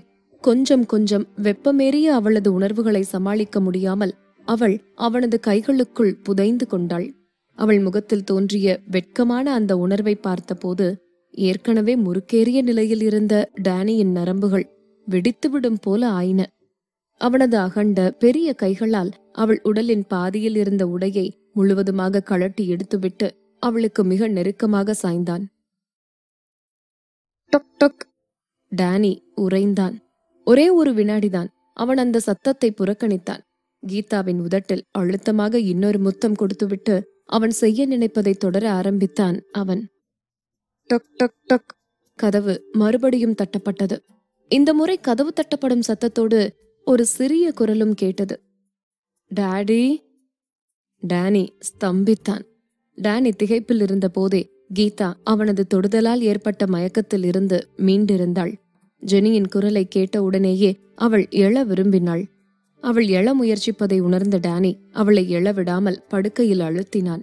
அவன் தன்னை கட்டுப்படுத்த முடியாத துணியில் சொன்னான் கீதா ப்ளீஸ். என்னால இதுக்கு மேல என்னை கட்டுப்படுத்தி வைக்க முடியாது. டேனி ஆனா ஜெனி கதவுக்கு வெளியில நிக்கிறா. யாரும் கதவை திறக்கலன்னா அவ அவளோட ரூமுக்கு திரும்பி போய் தூங்கிருவா. அவன் சொல்லிவிட்டு கீதாவை இழுத்து அணைத்துக் கொண்டான். தலையை தாழ்த்தி அவளது காது மடல்களை மென்மையாக கடித்துக்கொண்டே அவன் கேட்டான் கீதா நீ என்ன மிஸ் பண்ணவே இல்லையா? அவனுடைய சூடான மூச்சுக்காற்று அவள் தோலில் படர்ந்தது. உடனடியாக அவள் அவனை திரும்பி பார்த்தாள். அவள் அவனது கைகளில் சரணடைய இருந்தபோது கதவு தட்டப்படும் சத்தம் பலமானது. ஒரு ட்ரம்மை இசைத்தது போல கதவு தட்டப்படும் சத்தம் கொஞ்சம் பலமாக கேட்டது. இந்த முறை ஜெனி டேனியை அழைப்பதற்கு பதிலாக கீதாவை அழைத்தாள். அழகான மம்மி. ஜெனியின் குரல் அவளை அழைப்பதை கேட்டவுடனேயே கீதா பதட்டமானாள். ஜெனி அம்மா இங்க இருக்க. அவள் ஜெனிக்கு பதில் சொல்லிக் கொண்டே டேனியை தள்ளிவிட்டுவிட்டு அவசரமாக அவளது உடைகளை எடுத்து உடுத்திக் கொண்டாள்.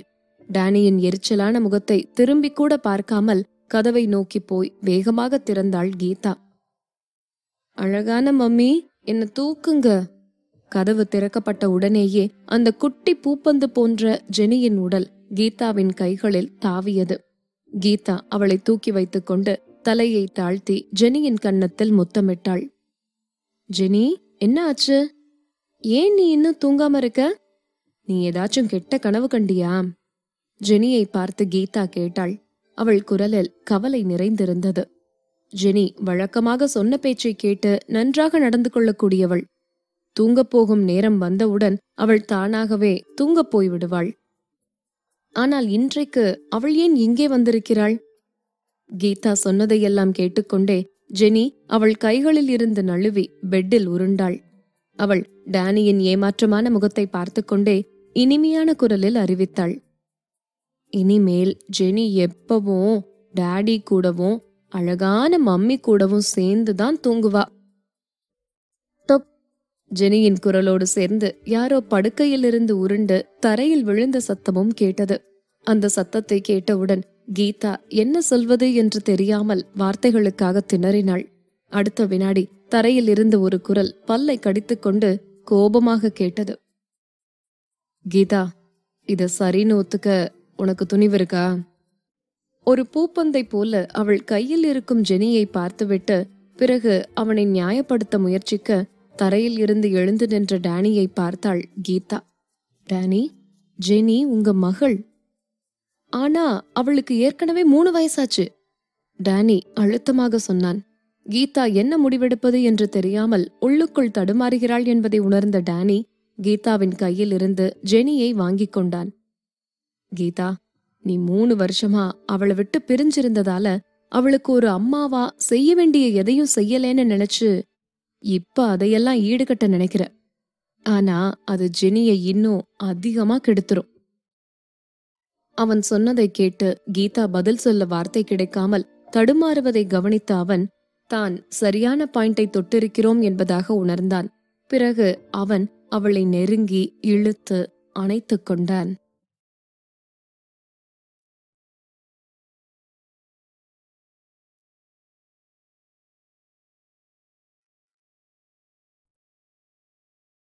பகுதி ஐநூற்றி எண்பத்தி ஒன்பது. அவள் உன்மகள் அவள் உன்மகள் தலையை தாழ்த்தி கீதாவின் கன்னத்தில் மென்மையாக முத்தமிட்டான் டேனி. பிறகு அவளை பார்த்து சொன்னான் கீதா வாழ்க்கை முழுக்க நேரம் இருக்கு. நீ உன்னோட மகளுக்கும் எனக்கும் இடையில நேர செலவழிக்க உனக்கு நிறைய நேரம் இருக்கு. டேனி பொறுமையாக சொன்னான். அடுத்த வினாடி அவன் பேச்சின் தலைப்பை மாற்றினான். இப்ப ராஜு வந்து அவளை அவளோட ரூமுக்கு கூட்டிட்டு போய் தூங்க வைக்கட்டும் என்றான் நிதானமாக. கீதா அவனை பார்த்து முழித்தாள். ஜெனியும் கூட அவன் சொன்னதை கேட்டு அவனை நம்ப முடியாமல் பார்த்தாள். அவன் சொன்னதை கேட்ட ஜெனி உடனடியாக அவன் கையில் இருந்து வழுக்கிக் கொண்டு இறங்கினாள். அறையின் நடுவில் இருந்த அந்த பெரிய படுக்கையை நோக்கி அவளது குட்டி கால்களால் நடந்த அவள் படுக்கையின் அருகில் போனவுடன் குதிகாலை உயர்த்தி நின்று படுக்கையில் ஏறி தவழ்ந்து போய் போர்வைக்குள் புகுந்து கொண்டாள். நகர்ந்து நகர்ந்து படுக்கையின் மையத்திற்கு வந்தவள் தனது குட்டி உடலை நேராக நிமிர்த்தி படுத்துக்கொண்ட பிறகு அவளுக்கு பக்கத்தில் கையை காட்டி அழகான அம்மா வேகமா வந்து என் பக்கத்துல படுங்க. இருட்டா இருக்கு என்று கீதாவை அவள் பக்கத்தில் படுத்துக்கொள்ள அழைத்தாள். கீதா டேனியை எச்சரிப்பவள் போல ஒரு பார்வை பார்த்தாள். எரியும் கண்களால் கோபமாக ஜினியை பார்த்து கொண்டிருக்கும் அந்த திருப்தியில்லாத மனிதனை கவனித்துவிட்டு அவள் அவன் கையை பிடித்துக்கொண்டு அவனது நெஞ்சில் தட்டி கொடுத்தாள். டேனி நல்ல கவனமா யோசிச்சு பாருங்க. ஜெனி உங்க மக உங்களோட சொந்த மக. நீங்க அவளை எங்கோ ஒரு தெருவுல இருந்து தூக்கிட்டு வரல. இப்ப நீங்க அவளை கோபத்துல அடிச்சு கிடிச்சு வச்சு அவளுக்கு ஏதாச்சும் ஆச்சுன்னா அப்புறம் இந்த ஜென்மத்துல ஒரு மக இருக்க மாட்டா. கீதா அவனுக்கு பொறுமையாக விளக்கினாள். டேனி அவளை முறைத்தான். இந்த ஒரே ஒரு நைட் மட்டும் உங்களோட உணர்ச்சிகளை கட்டுப்படுத்திக்கோங்க. பொறுமையா இருங்க. காலையில ஜெனி தூங்கி எந்திரிச்ச உடனே நான் அவகிட்ட பேசுறேன். அவ இனிமே அவளோட ரூம்ல தான் தூங்கணும்னு அவளுக்கு சொல்லி புரிய வைக்கிறேன். இன்னைக்கு மட்டும் நீங்க பொறுத்துக்கோங்க டேனி. கீதா மென்மையாக சொன்னாள். அவனது முகத்தில் இருந்த எரிச்சல் கொஞ்சம் குறைந்து அவன் சமாதானமாவதை உணர்ந்தபோது அவளுக்கு உள்ளுக்குள் மகிழ்ச்சி பொங்கியது. அவள் மனதிற்குள் சிரித்துக் கொண்டாள்.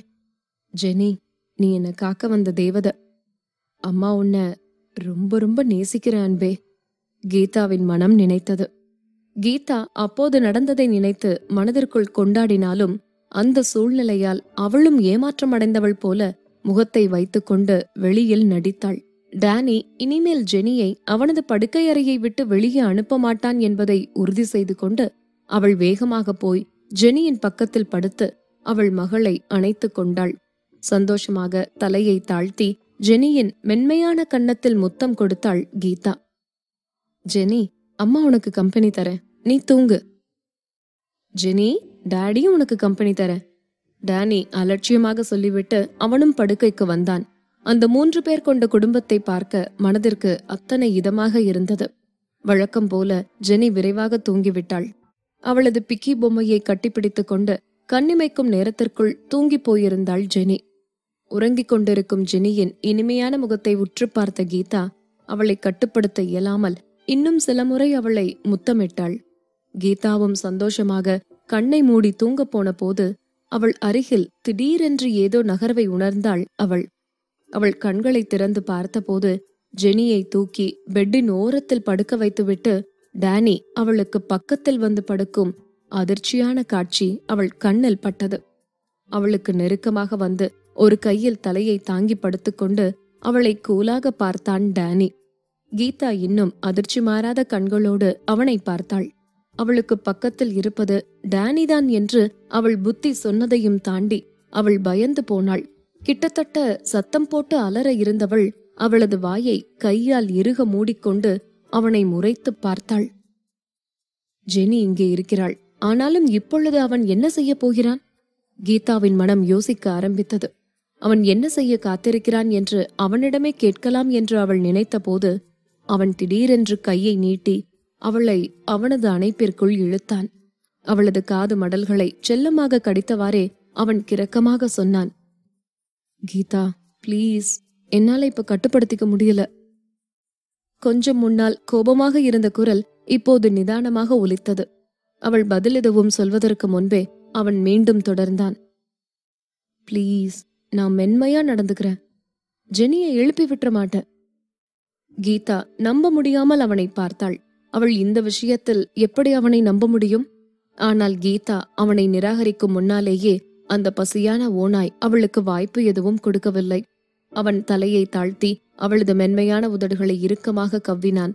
பிறகு வேகமாக அவள் உடலின் மென்மையான பகுதிகளை அவன் விரல்கள் உரச ஆரம்பித்தது. அவளது அணைப்பிற்குள் கீதா நெளிந்த போது அவன் செயலுக்கு தயாரானான்.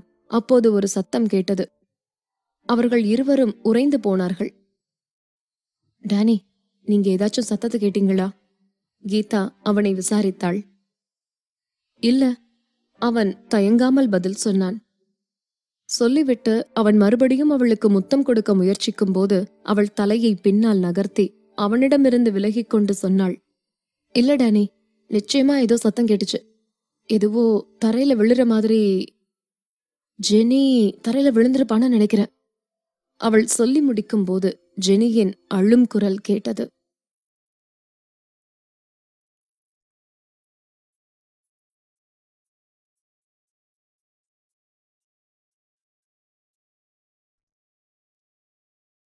பகுதி ஐநூற்றி தொண்ணூறு.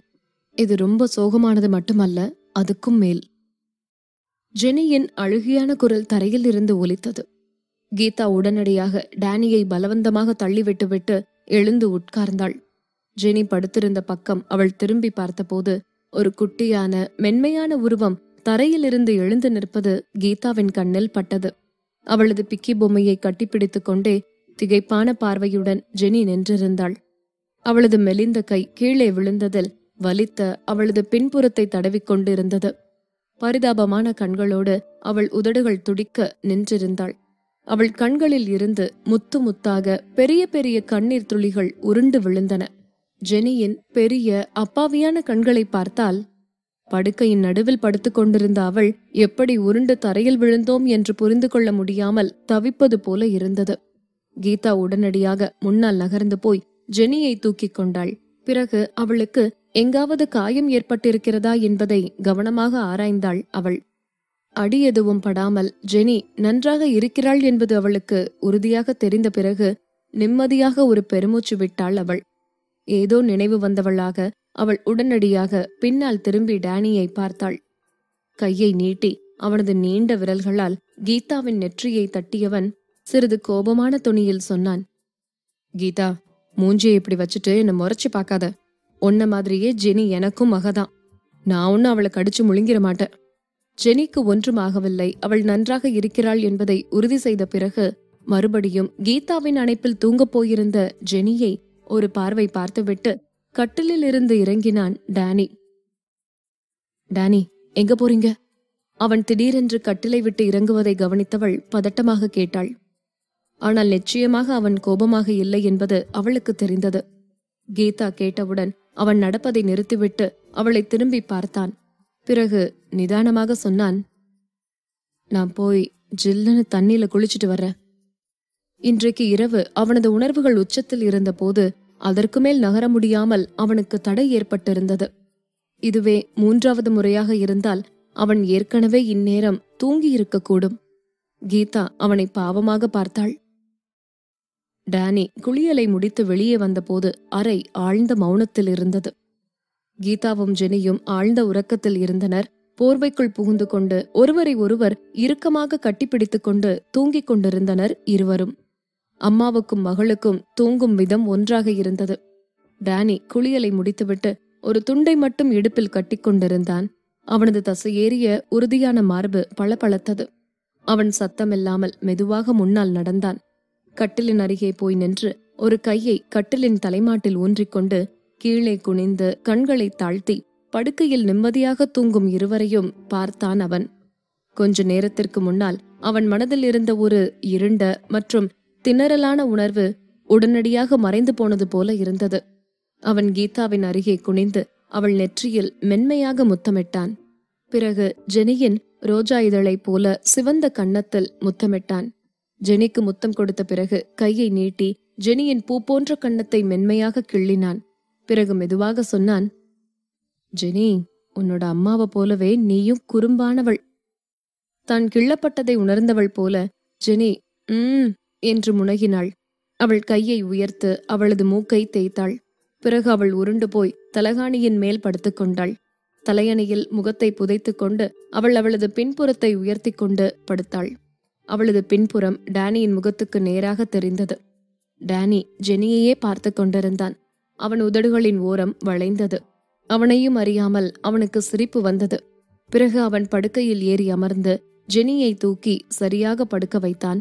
அவள் நெற்றியில் விழுந்த முடிகளை அன்பாக விலக்கிவிட்டது அவன் கை.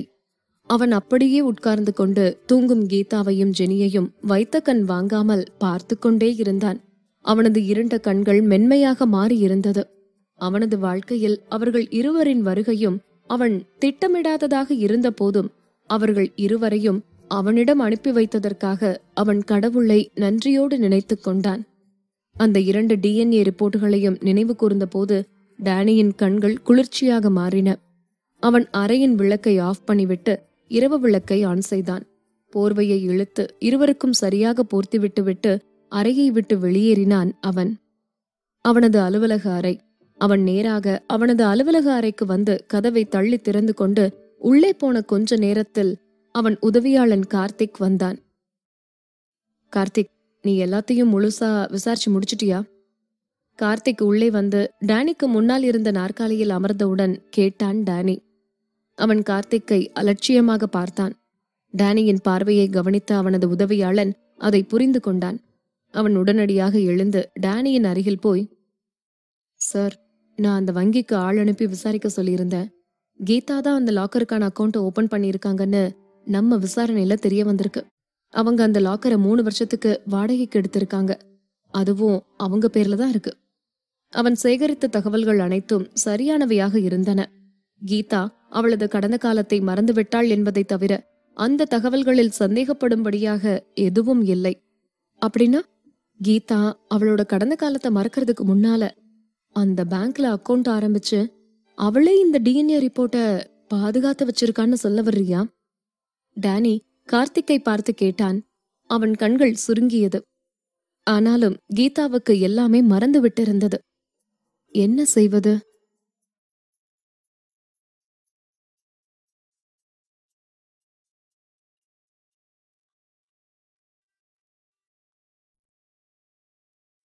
பகுதி ஐநூற்றி தொன்னூற்றி ஒன்று. சுற்றுக்கும் மேல் சுற்று இது நுண்ணறிவுகளுக்குள் நடக்கும் போர். கண்காணிப்பு கேமரா பதிவுகள் என்ன ஆச்சு? உன்னால் அதில் ஏதாச்சும் கண்டுபிடிக்க முடிஞ்சுதா? டேனி கேட்டான். சார் நான் ஏற்கனவே அதை செக் பண்ணிட்டேன். ஆனால் சில வருஷங்களுக்கு முன்னால அந்த பேங்க்ல ஒரு தீ விபத்து ஏற்பட்டு அந்த கண்காணிப்பு கேமராவின் பதிவுகள் எல்லாம் அழிஞ்சு போயிருச்சு. அதனால கண்காணிப்பு கேமராவில் இருந்து எதையும் நம்மளால தெரிஞ்சுக்க முடியலை. அதனால இந்த டிஎன்ஏ ரிப்போர்ட்டை கீதா தான் கொண்டு போய் வச்சாங்களா? இல்ல வேற யாராச்சும் அதை செஞ்சாங்களான்னு நம்மளால உறுதியா கண்டுபிடிக்க முடியல. இதன் அடிப்படையில் பார்த்தால் கீதாவின் பெயரில் வேறு யாராவது கூட அந்த லாக்கரை உபயோகித்திருப்பதற்கான சாத்தியங்கள் மிக அதிகமாக இருந்தது. அதோடு அந்த டிஎன்ஏ ரிப்போர்ட் அந்த வங்கியின் லாக்கரில் வைக்கப்பட்ட பிறகு எதேச்சையாக அந்த வங்கியில் தீ விபத்து ஏற்பட்டிருக்கிறது. அது உண்மையிலேயே விபத்துதானா அல்லது அதை யாராவது திட்டமிட்டு செய்திருப்பார்களா என்பதை கணிப்பது மிகவும் கடினமான ஒன்றாகவும் இருந்தது. இதையெல்லாம் கேட்டவுடன் டேனி அவன் பார்வையை திருப்பிக் கொண்டான். அவன் கண்களில் இருந்து வீசிய ஒளி ஆபத்தானதாக இருந்தது. கீதா எப்படிப்பட்ட பெண்ணாக இருப்பாள் என்பதை பற்றி அவன் கொஞ்சமும் கவலைப்படவில்லை. அவனுக்கு தெரிந்தது எல்லாம் அவன் குழந்தைக்கு அவள்தான் அம்மா என்பது மட்டும்தான். அவனது வாழ்க்கை முழுவதும் கடைசி வரை அவனோடு இருக்கப் போகும் ஒரே பெண்ணும் கீதாதான். அதோடு அவளுடைய கடந்த காலத்தை பற்றி தெரிந்து கொள்ள வேண்டும் என்றெல்லாம் டேனி விரும்பவில்லை. ஆனால் இப்பொழுது இதை குறித்து அவன் சரியாக விசாரிக்காமல் விட்டால் எதிர்காலத்தில் அம்மாவுக்கும் பெண்ணுக்கும் எந்த ஆபத்தும் வராது என்பதற்கு அவன் எந்த உத்தரவாதமும் கொடுக்க முடியாது. டேனியின் கண்கள் இருண்டது. அவன் கார்த்திக்கை பார்த்து அலட்சியமாக சொன்னான் இத தொடர்ந்து விசாரிங்க. இந்த தேவையில்லாத தொந்தரவுகளை எல்லாம் உருவாக்குனது யார் என்று முழுமையாக விசாரித்து எனக்கு அறிக்கை கொடு என்றான். எஸ் சார் கார்த்திக் பணிவாக சொன்னான். தலையை ஆட்டிவிட்டு வெளியேற தயாரான கார்த்திக் திடீரென்று ஏதோ ஞாபகம் வந்தவன் போல நின்றான். சார் தேவ் பிரின்ஸ் குயின்ஸ் மோதிரத்தை பத்தி தெரிந்தவர்களிடம் எல்லாம் விசாரணை செஞ்சிட்டு இருக்கிறதா நான் கேள்விப்பட்டேன் என்றான். டேனியின் குடும்பம் அந்த நகரிலேயே மிக மிக செல்வாக்கான குடும்பம். அதனால் எந்த தகவலாக இருந்தாலும் அவர்களுக்கு தெரியாமல் போவதற்கு வாய்ப்பே இல்லை. இந்த நகருக்குள் தகவல்களை சேகரிப்பதற்காக தேவ்பிரின் செய்யும் முயற்சிகள் எதையும் டேனியல் குடும்பத்திற்கு தெரியாமல் அவனால் மறைக்க முடியவில்லை. அது மட்டுமில்லாமல் தேவ் பிரின்ஸ் பொறுமை இழந்தவனாக இருந்தான். அதோடு அவன் செய்யும் எதையும் மறைக்க அவன் முயற்சிகள் எதையும் மேற்கொள்ளவில்லை. இது போன்று கவனமில்லாத முறையில் காரியங்களை செய்வது அவனது வழக்கமான பாணி அல்ல. அதோடு இதுபோல இயல்பற்ற செயல்களில் ஈடுபடும் போது அதை யாரும் கவனிக்காமல் செய்வதும் சாத்தியமான விஷயம் அல்ல. டிபி கார்ப்பரேஷனின் நகர்வுகள் குறித்து பலர் ஏற்கனவே கவனமாக இருந்தனர். அவர்கள் எல்லோரும் குயின்ஸ் மோதிரத்தை பற்றிய தகவல்களை பெறுவதற்கான தேவ் பிரின்ஸின் நோக்கம் குறித்து தனிப்பட்ட முறையில் பல்வேறு விதமாக யூகித்தனர். அவன் எதுக்காக குயின்ஸ் மோதிரத்தை பத்தின தகவல்களை தேடிக்கிட்டு இருக்கான்? டேனி லேசான அதிர்ச்சியோடு கேட்டான். அந்த ஏலத்தின் போது குயின்ஸ் மோதிரத்திற்காக தேவ் பிரின்ஸ் அவனோடு போட்டி போட்டு ஏலம் கேட்டது டேனியின் நினைவுக்கு வந்தது. அதுவே அவனை அன்றைக்கு வித்தியாசமாக உணர வைத்தது. அந்த குயின்ஸ் மோதிரத்தின் மேல் தேவ் பிரின்ஸிற்கு அதிக கவனம் இருப்பதாக தெரிந்தது. அது அந்த மோதிரத்தின் மதிப்பிற்காக இல்லை என்பதும் அந்த மோதிரத்தோடு அவனுக்கு ஏதோ உணர்வு ரீதியான ஒன்று இருப்பது போலவும் தோன்றியது டேனிக்கு. அதோடு அந்த மோதிரம் டேனியிடம்தான் இருக்கிறது என்பது நிச்சயமாக தெரிந்த பிறகும் இப்போது தேவ் பிரின்ஸ் அந்த மோதிரத்தை குறித்து எல்லா இடங்களிலும் விசாரித்துக் கொண்டிருக்கிறான். அந்த தகவல்களை வைத்துக்கொண்டு அவன் என்ன செய்யப் போகிறான்? அவன் ஏதோ ஒன்றை தேடுகிறானோ? நான் கேள்விப்பட்ட வரையில் அந்த குயின்ஸ் மோதிரம் எங்கிருந்து ஏலத்துக்கு வந்தது என்று தெரிஞ்சுக்க தேவ் பிரின்ஸ் முயற்சி செய்யறான்னு தெரியுது சார். டேனியின் உதவியாளன் கார்த்திக் அவன் கேள்விப்பட்ட அனைத்து தகவல்களையும் டேனியிடம் ஒன்று விடாமல் சொன்னான். அந்த மோதிரம் பற்றிய விசாரணைக்காக தேவ் பிரின்ஸ் பிளாக் மார்க்கெட்டுக்கு போய் அதன் பிறகு அதன் அருகே இருக்கும் திருடர்களை தேடி கண்டுபிடித்து அவர்களிடம் விசாரணை நடத்தியது வரை அவனுக்கு எல்லாம் தெரிந்திருந்தது. அவன் அனைத்தையும் டேனியிடம் ஒன்றுவிடாமல் சொன்னான். அதோடு திருட்டு தொழிலில் ஈடுபட்டிருக்கும் ஒரு இளைஞன் தேவ் பிரின்ஸின் வீட்டிற்கு அழைத்து போகப்பட்டிருக்கிறான். அவன் இன்னும் அங்கிருந்து வெளியில் வரவில்லை. தொழில்நுட்ப ரீதியாக பார்த்தால் டிபி கார்ப்பரேஷன் அந்த சிட்டிக்குள் எதற்காக உள்ளே நுழைந்தது என்பதை தேவ் பிரின்ஸ் அறிந்து கொள்ள வேண்டிய நேரம் இது. அவன் லட்சியங்களை அவன் உணர வேண்டிய நேரமும் கூட. அவன் அவனது தொழிலில் அக்கறை இல்லாதவன் போல இருக்கிறான். அதோடு அவனுக்கு சம்பந்தமே இல்லாத வித்தியாசமான செயல்களை வேறு செய்து கொண்டிருக்கிறான். அவன் இங்கே எதற்காக வந்தான்? இப்போது என்ன செய்து கொண்டிருக்கிறான் என்பது யாருக்கும் தெரியவில்லை. அவனது உதவியாளன் சொன்ன அனைத்தையும் கேட்டுவிட்டு டேனி ஒரு ஆழ்ந்த மௌனத்தில் விழுந்தான். ஏனெனில் அவனோடு போட்டி போடும் தகுதியும் திறமையும் தேவ் பிரின்ஸ் ஒருவனுக்கு மட்டும்தான் இருக்கிறது என்றுதான் வெளி உலகம் இன்னும் பார்த்து கொண்டிருக்கிறது. டேனி கன்னத்தில் கை தாங்கி அமர்ந்தபடியே தேவ் பிரின்ஸின் கோணத்தில் இருந்து யோசித்து பார்க்க ஆரம்பித்தான். அவன் தேவ் பிரின்ஸாக இருந்தால்? சிறிது நேரத்தில் அவனது இருண்ட கண்கள் விரிந்தன. தேவ் பிரின்ஸ் கண்டிப்பாக எதையோ அல்லது யாரையோ தேடுகிறான். அவன் தேடும் அந்த நபர் குயின்ஸ் மோதிரத்தை ஏலத்திற்கு முன் வைத்திருந்த அதன் உரிமையாளராக இருக்க நிறைய சாத்தியங்கள் உள்ளன. டேனியின் உதவியாளன் முளைத்தான். அவன் அவனது சுய உணர்வுக்கு திரும்பி வரும் முன்னால் டேனி அவனது நாற்காலியில் இருந்து எழுந்து நின்றான். கார்த்திக் உடனடியா அந்த குயின்ஸ் மோதிரம் பத்தி விசாரிங்க. அந்த தொண்டு நிறுவன ஏலத்துக்காக இந்த சிட்டிக்குள்ள வர்றதுக்கு முன்னாடி அந்த மோதிரம் யார்கிட்ட இருந்ததுன்னு விசாரிச்சு எனக்கு தகவல் சொல்லுங்க என்றான் டேனி.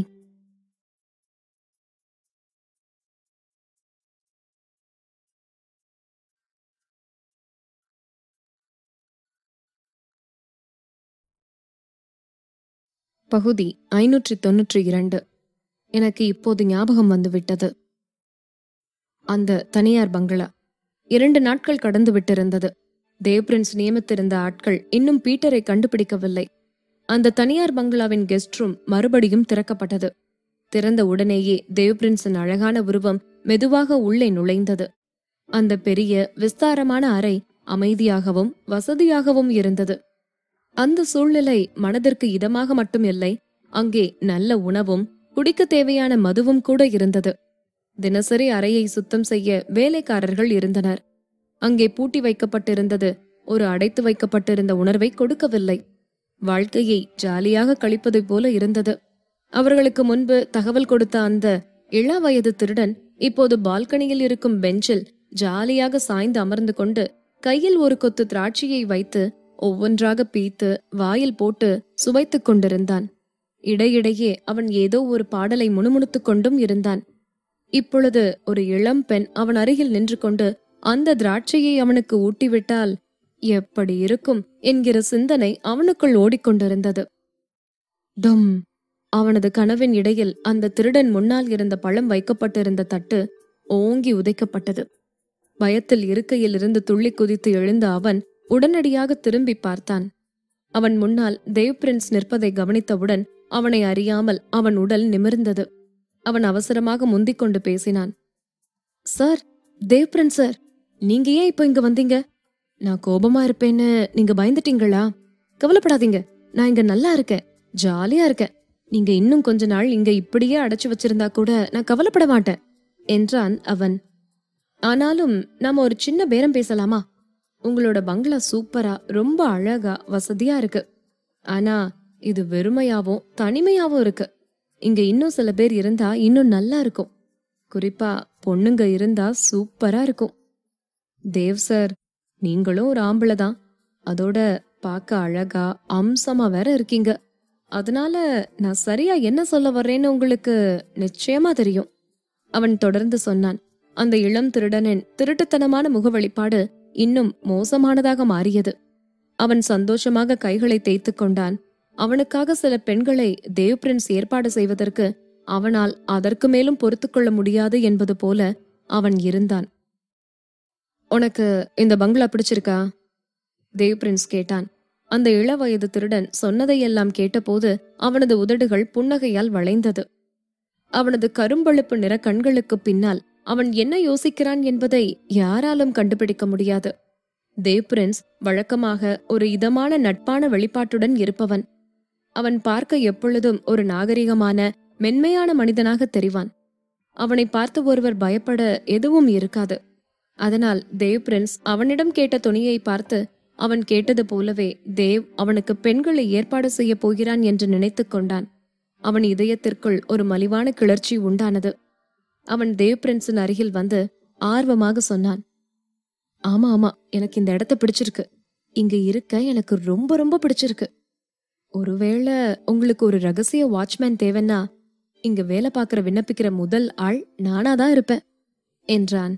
தேவ் பிரின்ஸ் ஒரு குளிர்ச்சியான பார்வையை அவன் மேல் வீசினான். அவன் திரும்பி போய் அந்த திருடனுக்கு முன்னால் இருந்த நாற்காலியில் அமர்ந்தான். தரையில் விழுந்து கிடந்த பழம் நறுக்கும் கத்தியை கீழே இருந்து எடுத்து அதை கையில் வைத்து விளையாட ஆரம்பித்தான் தேவ் பிரின்ஸ். கொஞ்ச நேரம் கழித்து அந்த இளம் திருடனை நிமிர்ந்து பார்த்தான். இதுக்கு முன்னால என்கிட்ட பொய் சொன்ன ஒருத்தன் கடைசியில என்ன ஆனான்னு உனக்கு தெரியுமா? என்று கேட்டான் தேவ். இதை கேட்டவுடன் அந்த இளவயது திருடன் பயத்தில் உறைந்தான். அவன் பதில் சொல்வதற்கு முன்னாலேயே தேவ் பிரின்ஸின் பக்கத்தில் நின்றிருந்த அவனது உதவியாளன் ஜீவா சொன்னான் அவனது கல்லறையில இப்போது செடிகளும் மரங்களும் முளைத்து மூடிவிட்டன. நீ உள்ள வரும்போது தோட்டத்துல ஓரத்துல ஒரு அடர்த்தியான மேடு இருந்துச்சுல்ல? அந்த இடம்தான் அது என்றான் ஜீவா. துப் பயத்தில் அவனது கால்கள் இரண்டும் ஜெல்லி போல மாறியதாக உணர்ந்தான் அந்த இளம் திருடன். அவனது பெஞ்சில் இருந்து கீழே விழுந்தான். ஆனால் உடனடியாக குதித்து எழுந்த அவன் திணறிக்கொண்டே அவனை விளக்க முயற்சித்தான். தேவ் சார் சின்ன முதலாளி நீங்க என்ன சொல்றீங்கன்னே எனக்கு புரியல. சிங்கத்தை போன்ற தைரியம் எனக்கு இருந்தாலும் நான் ஒருபோதும் உங்களை ஏமாத்த துணிய மாட்டேன். நான் உங்ககிட்ட என்ன சொன்னேனோ அது அத்தனையும் உண்மை. அவன் பயத்தில் நடுங்கிக் கொண்டே பேசினான். தேவ் பிரின்ஸ் எதுவும் பேசுவதற்கு முன்னாலேயே ஜீவா பேசினான். அப்படியா? நீ சொன்னதெல்லாம் உண்மையா? நீ சொன்னது போல அந்த அட்ரஸ்ல தேடினப்போ எங்களால பீட்டரை கண்டுபிடிக்க முடியல. நீ எங்க கிட்ட எதையும் மறைக்கலைனா அப்ப நீ சொன்னது ஒண்ணு கூட உண்மை இல்ல அப்படித்தானே? ஜீவா கோபமாக கேட்டான். இல்ல இல்ல. நான் உங்ககிட்ட எந்த பொய்யும் சொல்லல. அந்த இளம் திருடன் தயங்காமல் அவர்கள் சொன்னதை மறுத்தான். அவனுக்கு நெற்றியில் வேர்த்து ஒழுகியது. அதை துடைத்துக்கொண்டே பேசினான். தேவ் பிரின்ஸ் கையில் கூர்மையான கத்தியை ஒரு பொம்மை போல வைத்து விளையாடிக் கொண்டிருந்ததை கவனித்த போது கடைசியில் அந்த கத்தி அவன் கழுத்தில் இறங்கிவிடுமோ என்று அவனுக்கு சந்தேகமாக இருந்தது. அவன் பயத்தில் நடுங்கிக் கொண்டே மீண்டும் பேசினான். சார் பீட்டர் என்கிட்ட குயின்ஸ் மோதிரம் பத்தி சொன்னது சத்தியமா உண்மை சார்? அதோட அவனுக்கு அவன் சொந்த ஊர்ல ஏதோ முக்கியமான வேலை இருக்குன்னு சொன்னான். சார் பீட்டர் என்கிட்ட குயின்ஸ் மோதிரம் பத்தி சொன்னது சத்தியமா உண்மை. சார் அதோட அவனுக்கு அவன் சொந்த ஊர்ல ஏதோ முக்கியமான வேலை இருக்குன்னு சொன்னான். ஆமா அவன் சொந்த ஊருக்கு போறேன்னு சொன்னது எனக்கு இப்பதான் ஞாபகம் வந்துச்சு.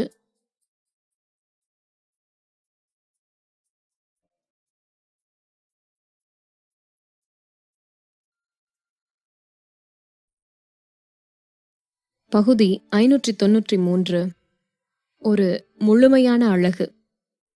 திடீரென்று அவன் தேவ் பிரின்சன் காலடியில் வந்து உட்கார்ந்து கூச்சலிட்டான். சார் சார் எனக்கு இப்ப எல்லாம் ஞாபகம் வந்துருச்சு. அவனுக்கு ஏதோ கடன் பிரச்சனை இருக்கிறதால அவன் எங்காவது கொஞ்ச நாளைக்கு தலைமறைவா போய் இருக்க போறதா பீட்டர் என்கிட்ட சொன்னா சார். அவன் ரொம்ப தூரத்துல இருக்கிற அவனோட சொந்தக்காரங்க யார் வீட்டுக்கோ போறதா சொன்னான். இந்த கடன் பிரச்சனை சரியாகிற வரைக்கும் அவன் அங்கேயே இருப்பான்னு நினைக்கிறேன். அவன் அவனோட சொந்த ஊருக்கு போறதுக்கு பதிலா அவனோட சொந்தக்காரங்க வீட்டுக்கு போயிருக்க நிறைய வாய்ப்பு இருக்கு சார். அவன் சொந்தக்காரங்க எங்க இருக்காங்க? அட்ரஸ் தெரியுமா? சார் அதையெல்லாம் அவன் என்கிட்ட சொல்லல சார். அந்த இளம் திருடன் லேசாக நாக்கை கடித்தான். டொப். தேவ் பிரின்ஸ் கையை உயர்த்தி அவன் கையில் இருந்த கத்தியை அவன் முன்னால் இருந்த மேஜை மேல் ஓங்கி குத்தினான். அவன் ஒரு வார்த்தை கூட பேசவில்லை என்றாலும் அவனது இந்த செயல் வார்த்தைகளை விட அதிகமாக பயமுறுத்துவதாக இருந்தது. அந்த இளம் திருடன் பயத்தில் நடுங்கிப் போய் படபடவென்ற அட்ரஸை ஒப்பித்தான். அது பக்கத்து நகரம்தான். அட்ரஸ் நம்பர் ஐநூத்தி தொண்ணூத்தி மூணு ராஜா நகர் கிழக்கு தெரு. அவன் அட்ரஸை சொல்லி முடிக்கும் போதே தேவின் உதவியாளன் ஜீவா அவனது உத்தரவிற்கு காத்திருக்காமல் போனை எடுத்து மின்னல் வேகத்தில் யாருக்கோ போன் செய்தான். அந்த இளம் திருடன் சொன்ன பீட்டரின் முகவரியை அவன் சரிபார்க்க சொல்லி யாருக்கோ அனுப்பினான். அரை மணி நேரத்தில் அவனுக்கு செய்தி வந்தது. சார் நம்ம ஆளுங்க பீட்டரை கண்டுபிடிச்சிட்டாங்க. அவன் அவனோட சொந்தக்காரங்க வீட்டுல ஒளிஞ்சிருந்தாலும் அவனை தேடி போன கடன் கொடுத்த ஆளுங்களை நம்ம ஆளுங்க எதேச்சியா சந்திச்சிருக்காங்க. பீட்டருக்கு குயின்ஸ் மோதிரம் பத்தின தகவல் எல்லாம் தெரியுமா? ஆனா அவன் கடனை அடைக்க நாம உதவி செஞ்சா அவன் நமக்கு அதை பத்தி சொல்வேன். இல்லைன்னா வாயை திறக்க மாட்டேன்னு சொல்லிட்டானா என்றான் ஜீவா. தேவ்பிரின்ஸின் கண்கள் மின்னின. அவனது மென்மையான முகத்தில் எந்த உணர்வும் தெரியவில்லை. அவன் மெதுவாக வாயை திறந்து சொன்னான் அவன் கடன் அடைக்க பணம் கொடுங்க. அவனை நான் உடனே பார்க்கணும். அதோட எனக்கு உதவியான தகவல் எதுவும் அவன்கிட்ட இருந்து கிடைக்கலன்னா நான் அவன் நாக்க வெட்டிருவேனோ? அவன்கிட்ட சொல்லி வைங்க என்றான் தேவ் பிரின்ஸ். அவனுடைய உதவியாளன் ஜீவா. தேவ் என்ன சொன்னானோ அதை ஒரு வரி மாறாமல் அவன் ஆட்களிடம் சொல்லி அதை பீட்டரிடம் சொல்லச் சொன்னான். பீட்டர் அவர்களுக்கு அருகில் இருக்கும் ஒரு சிட்டியில்தான் ஒளிந்து கொண்டிருக்கிறான். அது அவர்கள் இருக்கும் நகரத்திற்கு அருகாமையில் இருந்ததால் அவர்களின் ஆட்கள் பீட்டரை ஒரு மணி நேரத்திற்குள் அழைத்து வந்துவிட முடியும். பீட்டர் கண்டுபிடிக்கப்பட்டான் என்பதை அறிந்தவுடன் தேவ் பிரின்ஸ் அவனது நாற்காலியில் இருந்து எழுந்து கெஸ்ட் ரூமை விட்டு வெளியேறினான். அவன் மாடியில் ஏறி நேரே அவனது அலுவலக அறையை அடைந்து கதவை தள்ளி திறந்து கொண்டு உள்ளே போனான். புத்தகங்களின் ஆழ்ந்த வாசனை அந்த வெறுமையான குளிர்மை படர்ந்த அறையில் வெள்ளம் போல நிறைந்திருந்தது. அது அவனது உன்னதமான பிரகாசத்துடன் பொருந்தியது. அவன் முன்னால் நடந்து அவனது மது அலமாரியில் இருந்து ஒரு ரெட் ஒயின் பாட்டிலை எடுத்து ஒரு கிளாஸில் ஊற்றினான். பிறகு ஒயின் நிரம்பிய கிளாஸை கையில் எடுத்துக்கொண்டு நேராக அவனது மேசைக்கு போய் அவனது நாற்காலியில் அமர்ந்தான். அவன் கையில் இருந்த சிவப்பு ஒயின் கிளாஸை மெதுவாக சுழற்றினான். ஆனால் குடிக்கவில்லை. அவன் அந்த கிளாஸை மூக்கருகில் கொண்டு சென்று அந்த ஒயினின் வலுவான வாசனையை ஆழமாக மூச்சினுள் இழுத்தான். அவனது ஓய்வற்ற உணர்வுகளை அமைதிப்படுத்தும் ஒரே வழி அதுதான் என்பது போல இருந்தது அவன் செயல். அடுத்த வினாடி அவனது அலுவலக மேசை மேல் வைக்கப்பட்டிருந்த ஒரு போட்டோ ஃப்ரேமின் மேல் அவன் பார்வை படிந்தது. பழங்கால தோற்றம் கொண்ட அந்த போட்டோ ஃப்ரேம் அந்த சுத்தமான ஆடம்பரமான மேசை மேல் ஒரு வட்ட வடிவ துளையைப் போல தெரிந்தது. ஆனால் அந்த போட்டோ ஃப்ரேமை பார்த்தபோது தேவ்பிரின்ஸின் கண்கள் அளவிட இயலாத அளவிற்கு மென்மையாக இருந்தன. அவன் கையை நீட்டி மெதுவாக அந்த போட்டோ ஃப்ரேமை கையில் எடுத்தான். அவனது அழகான நீண்ட மெல்லிய விரல்கள் அந்த போட்டோ ஃப்ரேமிற்குள் இருந்த போட்டோவை மென்மையாக வருடின. அது ஒரு சின்ன பெண்ணின் புகைப்படம். அதில் இருந்த அந்த பெண்ணுக்கு சுமார் பனிரெண்டு பதிமூன்று வயது இருக்கலாம். அவளது நீண்ட கருமையான தலைமுடி அவளது தோளுக்கு கீழே நீண்டிருந்தது. அந்த மென்மையான முக அம்சங்களோடு அவள் ஒரு முழுமையான அழகியாக இருந்தாள். அவளது அனிமேஷன் செய்யப்பட்டது போன்ற கண்கள் பார்க்க அழகாக இருந்தன. ஒரு மஞ்சள் நிற முழு நீள கவுன் அணிந்து அவள் வீட்டின் முற்றத்தில் இருந்த ஊஞ்சல் ஒன்றில் ஒரு இளவரசி போல அமர்ந்திருந்தாள். திடீரென்று அவளை யாரோ ரகசியமாக போட்டோ எடுப்பதை உணர்ந்து அவள் திரும்பி பார்த்தாள். அவள் திரும்பிய போது அவளை போட்டோ எடுப்பது அவளுக்கு தெரிந்த ஒருவர் என்பதை அறிந்தவுடன் அவள் அழகாக இனிமையாக ஒரு புன்னகை செய்தாள். அந்த தருணத்தை அழகாக படம் பிடித்திருந்தது அவனது கேமரா. அந்த காட்சி தேவ் பிரின்ஸின் மூளைக்குள் அப்படியே உறைந்து நின்றது போல தோன்றியது. நீண்ட நேரத்திற்கு பிறகு அவனது அலுவலக அறையின் கதவு தட்டும் சத்தம் கேட்டது. கதவை தள்ளி திறந்து கொண்டு அவனது உதவியாளன் ஜீவா உள்ளே வந்தான். சார் நான் அந்த பீட்டரை கூட்டிட்டு வந்துட்டேன். என்றான். அவன் சொல்லி முடிக்கும் போதே விவேகமான ஒரு பார்வையோடு ஒரு ஆள் மெதுவாக உள்ளே நுழைந்தான். அலுவலக நாற்காலியில் உட்கார்ந்திருந்த தேவ் பிரின்ஸை பார்த்தவுடன் அந்த மனிதன் திகைத்தான். அந்த அலுவலக அறையின் ஆடம்பரத்தை பார்த்தவுடன் பீட்டரின் கண்களில் பேராசை மின்னியது. அவன் தானாக முன்வந்து பேச ஆரம்பித்தான். சார் நான் தான் குயின்ஸ் மோதிரத்தை பிளாக் மார்க்கெட்ல வித்தேன். நீங்க நான் கேட்கிற பணத்தை எனக்கு கொடுக்க தயாரா இருந்தீங்கன்னா உங்களுக்கு வேண்டிய தகவலை நான் உங்களுக்கு சொல்றேன் என்றான்.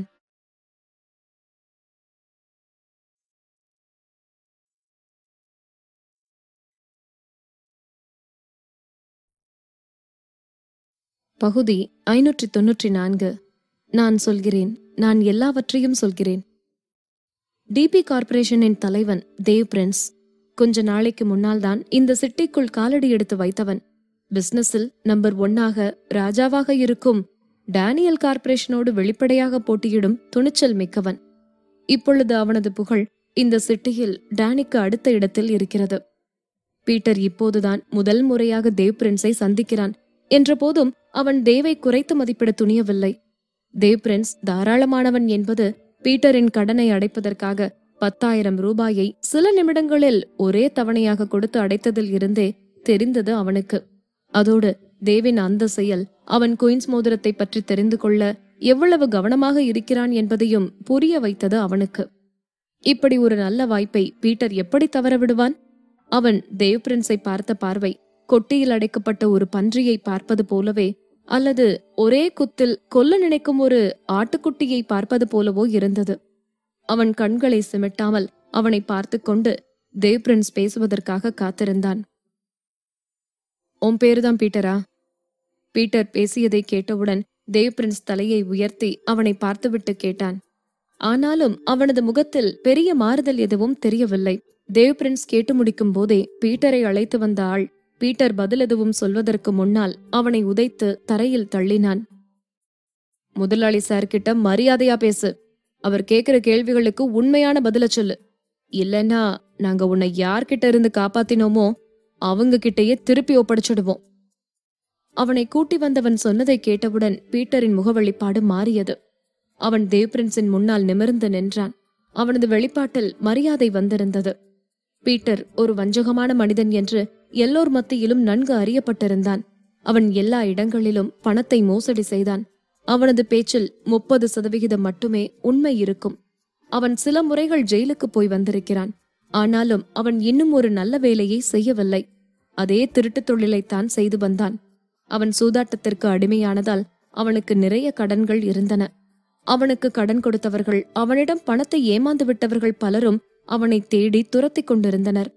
அதிர்ஷ்டவசமாக அவன் தேவ் பிரின்ஸின் ஆட்கள் கையில் சிக்கியிருக்காவிட்டால் அவனுக்கு கடன் கொடுத்தவர்கள் அவனை பீஸ் பீஸாக ஆக்கியிருப்பார்கள். அவன் மறுபடியும் அந்த பண முதலைகளிடம் வீசப்படுவான் என்று கேள்விப்பட்டவுடன் அவன் உடனடியாக மிரண்டான். அதனால் அவன் தேவ் பிரின்ஸ் என்ன கேட்டாலும் உண்மையை சொல்வதற்கு தயாராக இருந்தான். பொய் சொல்லி அவனால் மறுபடியும் அந்த பண முதலைகளிடமிருந்து மீள முடியாது. தேவ் பிரின்ஸ் அவனை கவனமாக ஆராய்ந்து விட்டு கேட்டான். நீதான் அந்த குயின்ஸ் மோதிரத்தை பிளாக் மார்க்கெட்ல வித்தியா? ஆமா நான் தான் அந்த மோதிரத்தை வித்தேன். அது பார்க்க பழசா இருந்ததால அந்த சமயத்துல அதை நான் ஏதோ ஒரு சாதாரணமான மோதிரம்னு தான் நினைச்சேன். அதுல இருந்த அந்த கல்லுங்க மட்டும்தான் கொஞ்சம் மதிப்பானதா இருக்கும்னு நினைச்சேன். அதனால அதை நான் சில ஆயிரம் ரூபாய்களுக்கு வித்தேன். ஆனா அது ஒரு பொக்கிஷமா இருக்கும்னு எனக்கு அப்ப தோணவே இல்லை. எனக்கு அது முன்னாலேயே தெரிஞ்சிருந்தா அந்த மோதிரம் ஒரு கோடி ரூபாய் மதிப்பு உள்ளதுன்னு மட்டும் எனக்கு முன்னாலேயே தெரிஞ்சிருந்தா நான் இந்நேரம் ஒரு பணக்காரனா இருந்திருப்பேன். அதோட இப்ப கடங்காரங்க என்ன துரத்துற அளவுக்கு பாவமான நிலைக்கு நான் போயிருக்க மாட்டேன். குயின்ஸ் மோதிரத்தை நினைத்து பார்க்கையில் பீட்டரின் முகத்தில் ஒரு கசப்பான வெறுப்பான உணர்வு வந்தது. அவன் கையில் இருந்த பொக்கிஷத்தின் மதிப்பு தெரியாமல் அதை இழந்ததுக்காக அவன் முகத்தில் அவனே பலமாக இரண்டு அறைகள் கொடுத்துக்கொள்ள விரும்பினான் அவன். அவனது வருத்தமான முகத்தை பார்த்தால் அவன் நடிப்பது போல தெரியவில்லை. இதை கேட்டவுடன் கடைசியில் தேவ் பிரின்ஸின் அமைதியான முகத்தில் ஒரு வித்தியாசமான வெளிப்பாடு தோன்றியது. அவன் அவனது அலுவலக மேஜை மேல் அவனது இரு கைகளையும் ஊன்றிக்கொண்டு அவனது ஆழ்ந்த விழிகளால் பீட்டரை பார்த்தான். பிறகு திடீரென்று கேட்டான் அந்த மோதிரம் உனக்கு எங்கிருந்து கிடைச்சது? இதை கேட்டவுடன் பீட்டர் திகைப்போடு தேவ் பிரின்ஸை பார்த்தான். ஏதோ ஒரு எண்ணம் அவனுக்குள் திடீரென ஏற்பட்டது போல அவன் லேசாக திணறினான். பிறகு சொன்னான் இது என்னை பெத்தவங்க எனக்காக விட்டுட்டு போனது. இது என்னோட குடும்ப சொத்து என்றான் அவன். தேவ் பிரின்ஸின் கைகள் கோபத்தில் தள்ளியதில் மேஜை மேல் இருந்த ஃபைல்கள் எல்லாம் தரையில் போய் விழுந்தன. அவன் கோபத்தோடு எழுந்து பீட்டரின் சட்டைக்காலரை பிடித்து அவன் பக்கமாக இழுத்து நிறுத்தினான். அவனது மென்மையான தோற்றம் கொண்ட முகம் கல்லறை போல இறுக்கமாகவும் கடுமையாகவும் மாறியது. அவனுடைய இயல்பான நட்பான பார்வை இப்போது ஒரு பயமுறுத்தும் ஒளியை வீசியது. அவன் நிறுத்தி நிதானமாக சொன்னான் என்கிட்ட பொய் சொல்ற யாரையும் எனக்கு சுத்தமா பிடிக்காது. நான் உனக்கு ஒரே ஒரு வாய்ப்பு தான் கொடுப்பேன். ஆனா நீ சுடுகாட்டுக்கு போற பாதையில தான் நடக்கணும்னு விரும்புனீனா நீ ஏண்டா பிறந்தோம்னு நினைச்சு நினைச்சு வருத்தப்பட வேண்டியிருக்கும். நல்லா யோசிச்சுக்க. தேவ் பிரின்ஸின் அமைதியான குரல் தீர்மானமாக ஒலித்தது. நான் சொல்றேன். நான் எல்லாத்தையும் சொல்றேன். தேவ் பிரின்ஸின் பயமுறுத்தும் பார்வையை பார்த்து மிரண்டு போனான் பீட்டர். அவனது உதவியாளன் தன்னை நோக்கி வருவதை கவனித்துவிட்டு அவன் மறு யோசனையின்றி அவனது வார்த்தைகளை திருத்திச் சொன்னான். நான் அந்த மோதிரத்தை கண்டெடுத்தேன். அத நான் தெருவில் இருந்து கண்டெடுத்தேன். தெருவில் இருந்து கண்டெடுத்தியா? தேவ்பிரன்ஸின் கண்கள் சுருங்கின. ஆமா நான் அந்த மோதிரத்தை கண்டெடுத்த அன்னைக்கு கொஞ்சம் அதிகமா குடிச்சிருந்தேன். நான் வெளியில போயிட்டு ராத்திரி வீட்டுக்கு திரும்பி போயிட்டு இருந்தப்ப அந்த மோதிரத்தை தெருவுல இருந்து கண்டெடுத்தேன். நான் சொன்னா நீங்க நம்ப மாட்டீங்கன்னு நினைச்சுதான் நான் இதை முன்னாலேயே சொல்லல என்றான் பீட்டர்.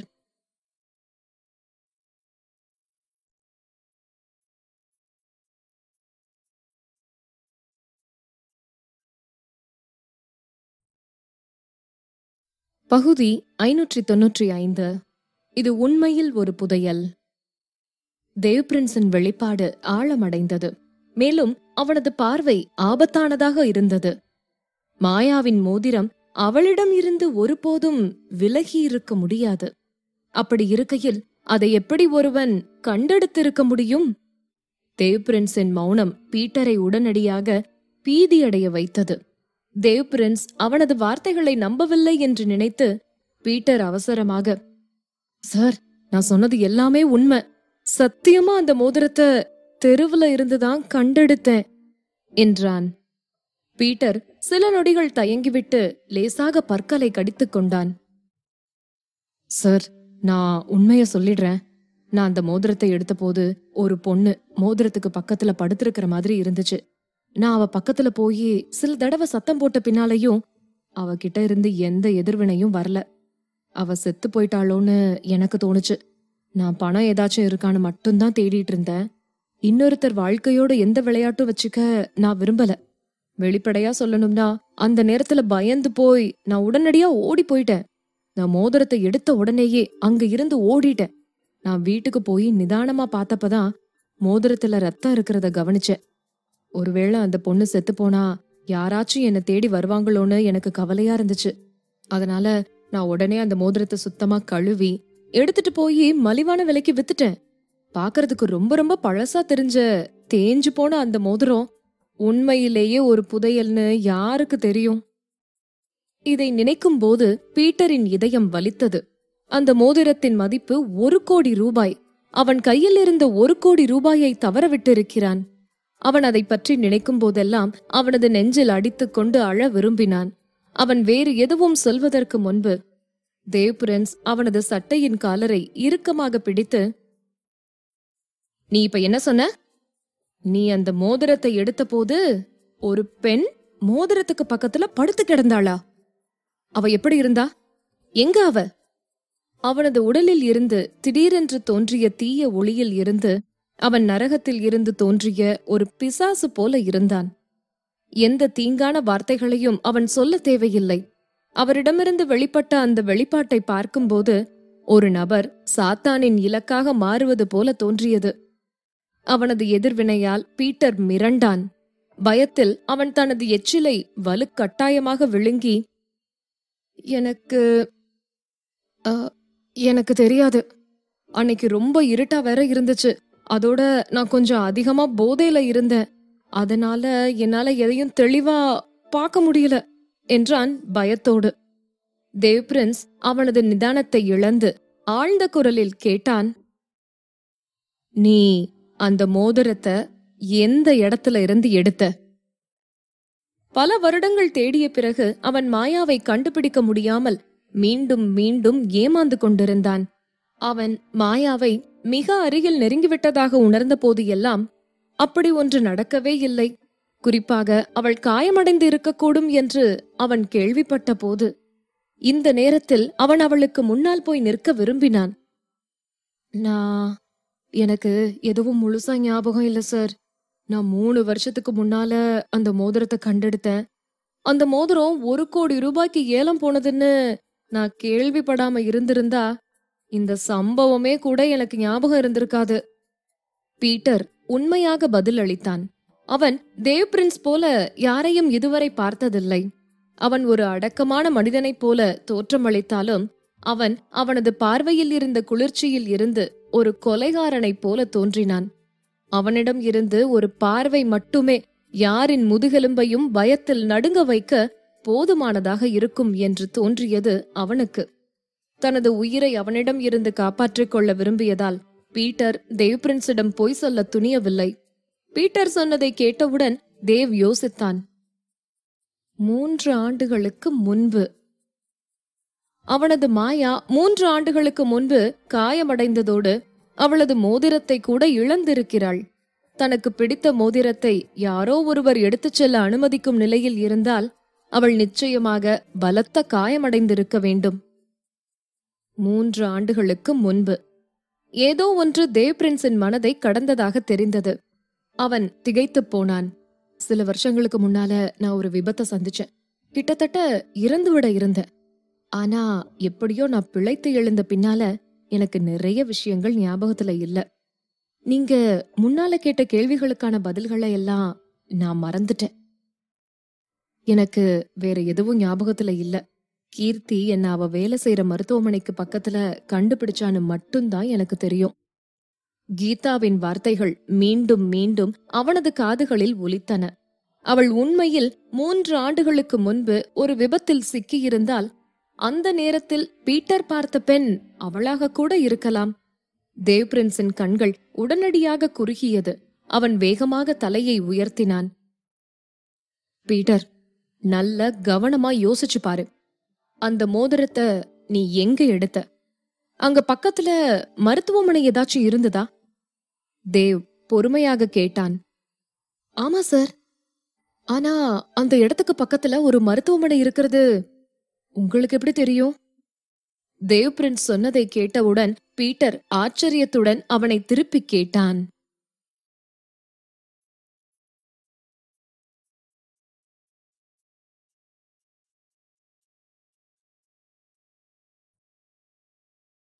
பகுதி ஐநூற்றி தொன்னூற்றி ஆறு. புதிரின் கடைசி பகுதி. தேவ் பிரின்ஸ் சொன்னதையும் அவனது நினைவில் இருந்ததையும் இணைத்து பார்த்தபோது பீட்டரின் மூளை ஜாம் ஆகிவிட்டதாக தோன்றியது. உண்மையாவே நான் தங்கியிருக்கிற இடத்துக்கு பக்கத்துல ஒரு மருத்துவமனை இருக்கு. அது நான் இருக்கிற இடத்துல இருந்து ரொம்ப தூரத்துல இல்ல. வெளியில போயிட்டு வீட்டுக்கு திரும்பி வர்றப்போ தினமும் நான் அந்த மருத்துவமனையை தாண்டி தான் வரணும். நான் மோதிரத்தை எடுத்த அன்னைக்கு கூட எப்பவும் போலவே அதே ரோட்ல தான் திரும்பி வந்தேன். பீட்டர் அவனுக்கு நினைவுக்கு வந்ததை தயங்காமல் சொன்னான். அந்த நாளின் நிலைமையை பீட்டர் கவனமாக விவரித்தான். ஆனா அதெல்லாம் நடந்து ரொம்ப நாள் ஆயிடுச்சு சார். சரியான இடம் எனக்கு உண்மையாவே நினைவுல இல்ல. தேவ்பிரின்ஸ் சார் எனக்கு தெரிஞ்சதையெல்லாம் நான் உங்ககிட்ட சொல்லிட்டேன். நான் சொன்னது எல்லாமே உண்மை. நான் உங்ககிட்ட பொய் சொல்லல சார். என்றான் பீட்டர் கெஞ்சும் குரலில். தேவ் பிரின்ஸின் அடர் பழுப்பு நிற கண்கள் சற்று குறுகியது. அவன் தனது உதவியாளனை நோக்கி திரும்புவதற்கு முன்னால் தனக்குத்தானே முணுமுணுத்துக் கொண்டான். ஹிப்னாட்டிஸ்ட் செய்யும் ஒரு உளவியல் டாக்டரை இவனுக்காக ஏற்பாடு செய்யுங்க. அவர் அவனது ஆழ்மனதில் இருக்கும் நினைவுகளை வெளிக்கொண்டு வரும் சோதனை செய்ய ஏற்பாடு செய்யுங்க. அவன் மோதிரத்தை எடுத்த இடத்தை நினைவில் கொண்டு வர இது உதவுமா என்று பாருங்க என்றான் தேவ் பிரின்ஸ். ஓகே சார் உதவியாளன் மரியாதையுடன் குனிந்து வணங்கிவிட்டு வெளியேறினான். அவன் ஹிப்னோதெரப்பிக்கு அனுப்பப்பட போகிறான் என்று கேள்விப்பட்ட போது பீட்டரின் வெளிப்பாடு சற்று மாறியது. அவன் ஏதோ சொல்ல விரும்பிய போது தேவ் பிரின்ஸ் தனது செக் புக்கை கையில் எடுத்தான். ஒரு காசோலையில் எழுதி கையெழுத்து போட்ட பிறகு அதை மேசை மீது வைத்து பீட்டரை நோக்கி தள்ளினான். தேவ் பிரின்ஸ் வாயை திறந்து மெதுவாக சொன்னான் நீ மோதிரத்தை எடுத்த இடத்த சரியா நினைவுபடுத்தி சொல்லிட்டேனா? இந்த அஞ்சு லட்சம் ரூபாய் உனக்கு என்னோட கிஃப்டா இருக்கும் என்றான். பீட்டரால் அவனுக்கு முன்னால் இருந்த செக்கை வெறுமனே பார்த்து கொண்டிருக்க முடியவில்லை. அவன் தனது இரு கைகளையும் நீட்டி செக்கை கையில் எடுத்து தடவி பார்த்தான். அவனது கண்கள் ஏற்கனவே விரிந்திருந்தன. அவன் அவசரமாக தலையை ஆட்டினான். தேவ்பிரன் சார் நீங்க கவலைப்பட வேண்டாம். ஹிப்னாட்டிசம் பண்றவரோட ஒத்துழைக்க நான் என்னால முடிஞ்ச எல்லாத்தையும் செய்றேன். நான் மோதிரத்தை எடுத்த இடத்த நிச்சயமா நினைவுக்கு கொண்டு வருவேன் என்றான் மகிழ்ச்சியாக சிறிது நேரத்திலேயே அவர்கள் ஹிப்னாட்டிசம் செய்யும் ஒரு டாக்டரோடு தொடர்பு கொண்டனர். அந்த டீம் உடனடியாக மருத்துவமனைக்கு புறப்பட்டது. மூன்று ஆண்டுகள் என்பது ஒரு நீண்ட காலம். இது வேறொரு இடமாக இருந்தால் பெரிய மாற்றங்கள் இருக்கலாம். ஆனால் கடந்த காலங்களில் பீட்டர் மருத்துவமனைக்கு அருகில் தங்கியிருந்தான். அவன் இருந்த தெருக்களில் சில சிறிய மாற்றங்கள் மட்டுமே இருந்தன. அதை தவிர அவை பெரும்பாலும் அவற்றின் அசல் வடிவம் மாறாமல்தான் இருந்தன. இங்கே. நான் தங்கியிருந்த இடம் இதுதான். ஹிப்னாட்டிசத்தின் தூண்டுதலை பின்பற்றி பீட்டர் முன்னிலை வகித்து அவர்களை வட்ட வடிவமாக இருந்த குடியிருப்பு கட்டிடத்திற்கு கூட்டிக் கொண்டு போனான். ஆண்டுகள் நிறைய ஆகியிருந்ததால் அந்த இடம் ஏற்கனவே ஒரு மோசமான நிலையில் இருந்தது. அது இப்போது சிவப்பு நாடாவால் எச்சரிக்கை நடவடிக்கையில் இருப்பதாக குறிப்பிடும் வகையில் கட்டப்பட்டு இருந்தது. அதோடு அதில் இடிக்கப்பட்ட அடையாளம் இருந்தது. அது மிக விரைவில் அழிக்கப்பட இருந்தது. உதவியாளன் தேவ் பிரின்ஸிடம் நடந்து சென்று அவனது கண்டுபிடிப்புகளை மரியாதையுடன் தெரிவித்தான். சார் நான் ஏற்கனவே இந்த பகுதியை சேர்ந்தவங்கள விசாரிச்சேன். பீட்டர் உண்மையாவே முன்னால இங்க இருந்திருக்கான். அவன் ஒரு செயலற்ற ஆளா இருந்த போதிலும் அவன் ஒரு நல்ல மனிதனா கருதப்படலைன்னாலும் அவர் வயசானவங்களுக்கு ரொம்ப உதவியா இருந்திருக்கான். இங்க லிஃப்ட் இல்ல. அதனால இந்த பழைய கட்டிடத்துல இருந்த வயசானவங்களோட உடைமைகளை இடம் மாத்தி வைக்கிறதுக்கு அவன் அடிக்கடி உதவி செஞ்சிருக்கான். அதனால இங்க இருக்கிற முதியவங்க நிறைய பேரு அவனை ஞாபகம் வச்சிருக்காங்க என்றான் ஜீவா. அவன் இடையில் நிறுத்திவிட்டு பிறகு தொடர்ந்து சொன்னான் சார் கீர்த்தி வேலை செய்யற மருத்துவமனை இங்க இருந்து சுமார் பத்து நிமிஷத்துல நடந்து போற தூரத்துல தான் சார் இருக்கு. நேரம் மற்றும் இடம் இரண்டும் சரியாக பொருந்துகிறது. அவன் இதை பீட்டர் சொன்ன தகவல்களோடு இணைத்து பார்த்தான். அவன் மோதிரத்தை எடுத்த நேரத்தில் ஒரு பெண் மயக்கமான நிலையில் அதன் பக்கத்தில் கிடந்திருக்கிறாள். மோதிரத்தில் வேறு ரத்தம் இருந்திருக்கிறது. கீர்த்தி அவனிடம் சொன்னது கீதாவை முதல் முதலில் அவள் கண்டுபிடித்த போது அவள் உடலில் காயங்கள் நிறைந்திருந்தன. பீட்டர் பார்த்த பெண் கீதாவாக இருந்து கீர்த்தி வருவதற்கு முன்னால் அவன் மோதிரத்தை கீதாவிடம் இருந்து எடுத்து சென்றிருந்தால் கீர்த்தி அந்த மோதிரத்தை இதற்கு முன்பு பார்த்ததில்லை என்றது சரியாக இருக்கலாம். இப்போது அவனது எல்லா சந்தேகங்களையும் இணைக்கும் புதர் அவன் முதலில் மோதிரத்தை எடுத்த இடம் பீட்டரின் நினைவுக்கு வந்தால் மட்டுமே முழுமையடையும். தேவ் பிரின்ஸின் அடர் பழுப்பு நிற கண்கள் சற்று குறுகியது. மெதுவாக மேலே நிமிர்ந்து பார்த்த அவன் கிப்னாட்டிசத்தின் வழிகாட்டுதலுடன் அந்த கஷ்டமான நாளின் காட்சியை நினைவுபடுத்த முயற்சித்த பீட்டரை முறைத்துப் பார்த்தான். பீட்டரின் வெளிப்பாடு கொஞ்சம் மரத்து போனது போல தெரிந்தது. அவன் திடீரென்று ஒருவித சிக்கலை சந்தித்தது போல கோபமாக தெரிந்தான். திடீரென்று அவனது கண்கள் ஒளிர்ந்தன. அவன் ஒரு குறிப்பிட்ட திசையில் வேக வேகமாக அடியெடுத்து வைத்து நடந்து சென்றான். பிறகு அவன் ஒரு இடத்தில் நின்றான். இதுதான் அந்த இடம். இதுதான். இதுதான் அந்த இடம் கத்தினான் பீட்டர்.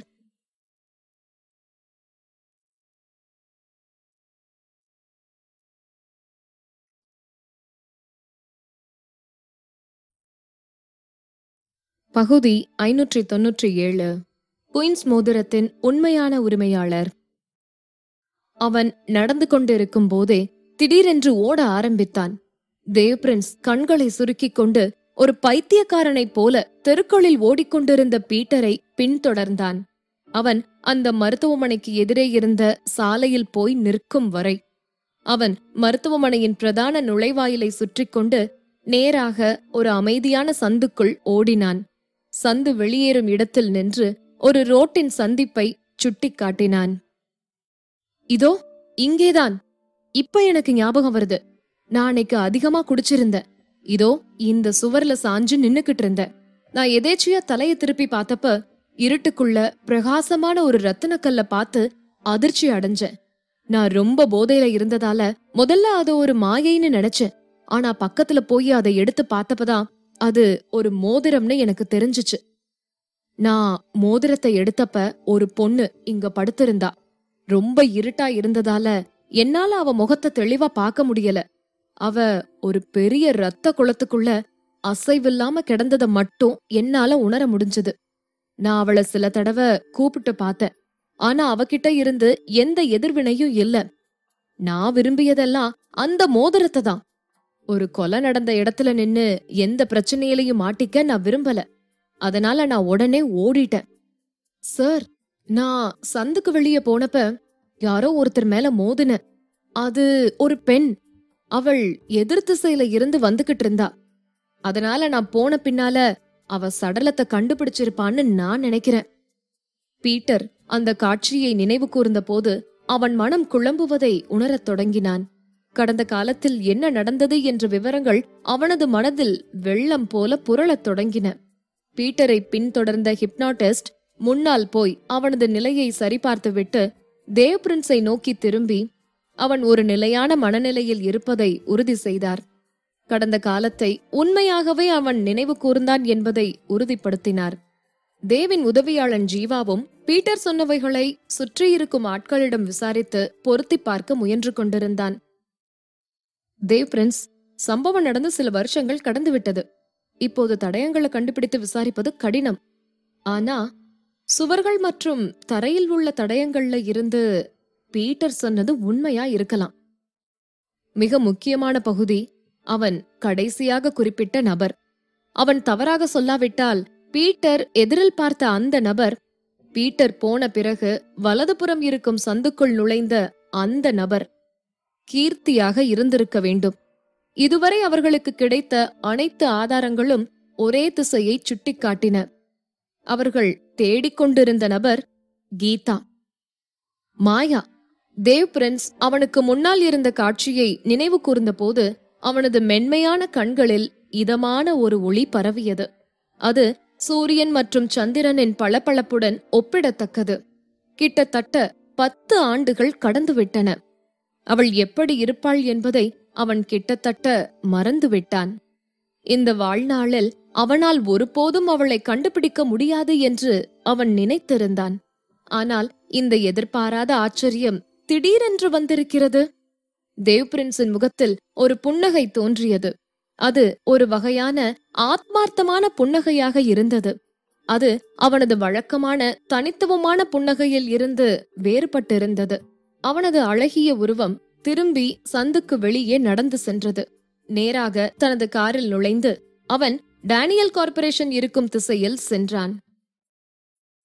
சார் தேவின் உதவியாளன் எதிர்வினை ஆற்றுவதற்கு முன்னாலேயே ஒரு கணம் முன்பு அவனுக்கு முன்னால் நின்றிருந்த நபர் காற்றோடு மறைந்து விட்டான் டேனியல் கார்ப்பரேஷன் பிரசிடென்ட் அலுவலகத்தில் டேனி தனது பணிமேசையில் உட்கார்ந்து ஆவணங்களில் கையெழுத்திட்டுக் கொண்டிருந்தான். கதவு தட்டப்படும் சத்தம் கேட்டவுடன் அவன் மேலே நிமிர்ந்து பார்த்தான். சார் நீங்க என்ன பின்தொடர சொன்ன விஷயத்தை பற்றிய புது தகவல்கள் சில எனக்கு கிடைச்சிருக்கு. சொல்லிக்கொண்டே டேனியின் உதவியாளன் கையில் ஒரு விசாரணை அறிக்கையுடன் நடந்து சென்று டேனியின் மேசைக்கு அருகில் போய் நின்றான். நீங்க ஏலத்துல வாங்கின குயின்ஸ் மோதிரம் பிளாக் மார்க்கெட்ல விற்கப்படுறதுக்கு முன்னாடி அது ஒரு சிலர் கைகளுக்கு மாறி இருக்கிறது. அதன் முந்தைய தகவல்களை வச்சு பார்த்தப்ப முறையான விதத்துல அந்த மோதிரத்தை கடைசியா வாங்கினது ஒரு பெண் என்பதை கண்டுபிடிச்சோம். டேனி கையில் இருந்த பேனாவை கீழே வைத்துவிட்டு கேட்டான் யார் அந்த பெண்? அத பத்தி ஏதாச்சும் தெரிஞ்சுதா? என்று கேட்டான்.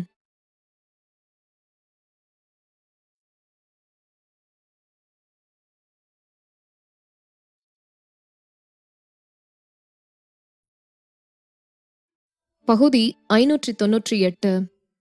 அவனது வாழ்க்கையின் வயது வந்த காதல் மற்றும் அவனது வாழ்க்கையின் குழந்தை பருவ அன்பு.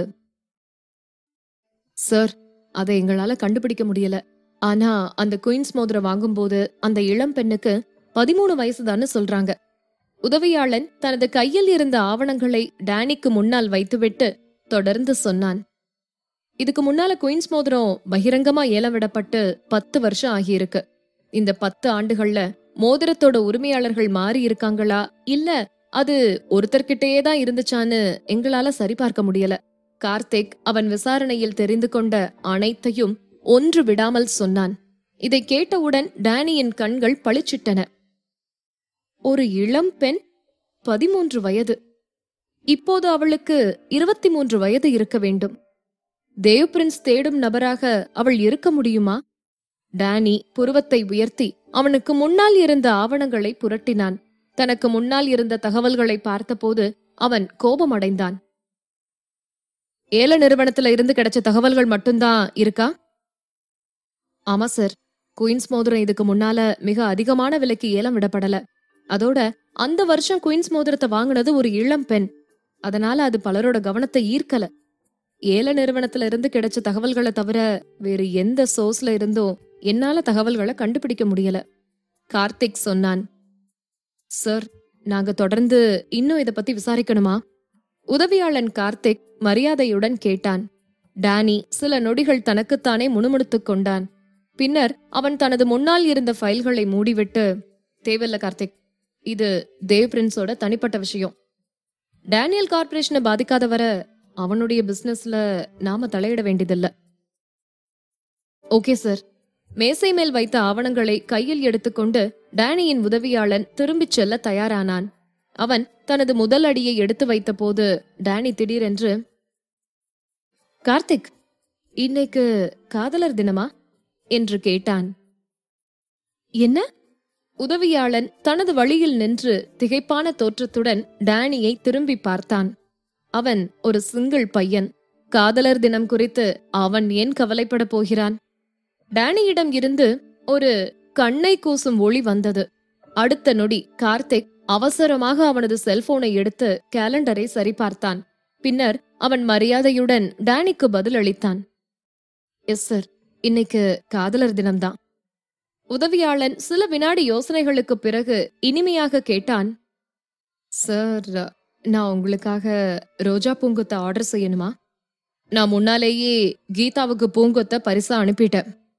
இப்ப புதுசா ஏதாவது யோசிக்க முடியாதா?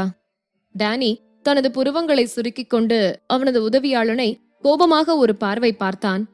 உதவியாளன் கார்த்திக் வாயடைத்து போனான். சார் நானே ஒரு பேச்சுலர் பையன். ஏற்கனவே இது ரொம்ப பரிதாபகரமான விஷயம். காதலர் தினத்தை உடன் சேர்ந்து கொண்டாட எனக்கு யாருமே இல்ல. இப்ப போய் காதல்ல இருக்கிற உங்கள மாதிரி ஆட்களை கவனிக்க சொன்னா அது உங்களுக்கே கொஞ்சம் ஓவரா தெரியல? கார்த்திக் மனதிற்குள் நினைத்து கொண்டான். இதை டேனியின் முன்னால் சொல்லும் அளவுக்கு அவனுக்கு தைரியம் இல்லை. சில நொடிகள் அமைதியாக யோசித்த பின் உதவியாளன் மீண்டும் சொன்னான் சார் சாக்லேட் ஓகேவா? என்று கேட்டான் கார்த்திக். அவளுக்கு சாக்லேட் பிடிக்காது. அதெல்லாம் ஒரு பரிசே இல்லைன்னு அவ ஒரு நாள் சொன்னான்.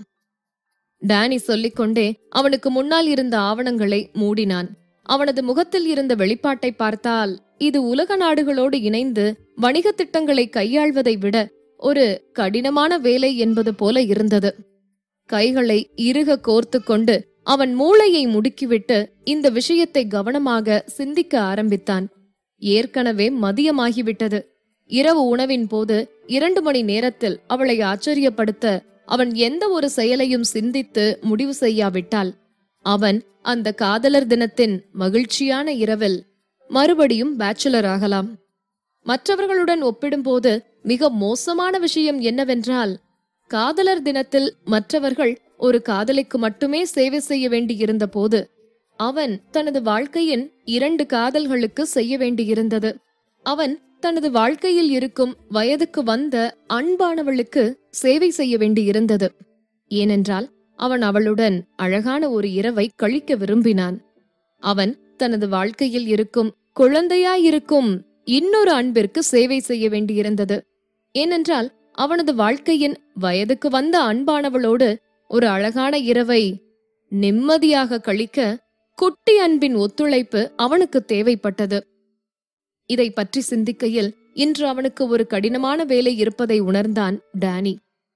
உடனடியாக டேனி தனது செல்போனை எடுத்து இணையத்தில் உதவி ஆலோசனைகளை தேடத் தொடங்கினான். கேள்வி. உறவில் இறங்கிய பிறகு எனது முதல் காதலர் தினத்தை நான் எவ்வாறு செலவிட வேண்டும்? இணைய ஆலோசகர் ஏ. ரோஜாக்கள் சாக்லேட் மற்றும் ஏற்கனவே அவர்களிடம் இல்லாத பொருட்களை பரிசாக தேர்வு செய்வது. உங்களிடம் பிராண்டட் கிஃப்ட்டுகள் எதுவும் இல்லை என்றால் உங்கள் காதலியை காதலர் தின டேட்டிங் அழைக்கும் தைரியம் உங்களுக்கு இருக்கிறதா? இணைய ஆலோசகர் பி. மேலே சொன்ன ஆலோசனை மிகவும் பொருள் சார்ந்ததாக தெரிகிறது. உண்மையில் பெண்கள் உங்கள் முயற்சியையும் பார்க்கிறார்கள். நீங்கள் உண்மையிலேயே திறமையானவர்களாக இருந்தால் நீங்களே சொந்தமாக காகிதப் பூக்களை உருவாக்கி அதை ஒரு பூச்செண்டாக மாற்றலாம். என்னை தவறாக எண்ணாதீர்கள். பில்களால் செய்யப்பட்ட காகிதப் பூக்களை குறிக்கிறேன். நிறத்தை பொறுத்தவரை ரோஜாக்கள் சிவப்பு அல்லது உங்கள் காதலி விரும்பும் நிறம் என்னவோ அது. இணைய ஆலோசகர் சி. மேலே சொன்ன கருத்துக்கள் எல்லாமே வேஸ்ட் இணைய ஆலோசகர் டி. இவை அனைத்தையும் இது போன்ற ஆலோசனைகளில் முடிவு செய்ய வேண்டாம். உண்மையில் காதலர்கள் ஒன்றாக இணைந்து பேசிக்கொண்டே ஷாப்பிங் செய்யலாம். அவர்கள் வெறுமனே கைகளை கோர்த்து கொண்டு சுற்றினால் கூட இதயங்களில் அவர்கள் காதல் வலுவாக இருந்தால் இதெல்லாம் சும்மா சாதாரண ஒரு நாளாக கடந்து விடுவார்கள்.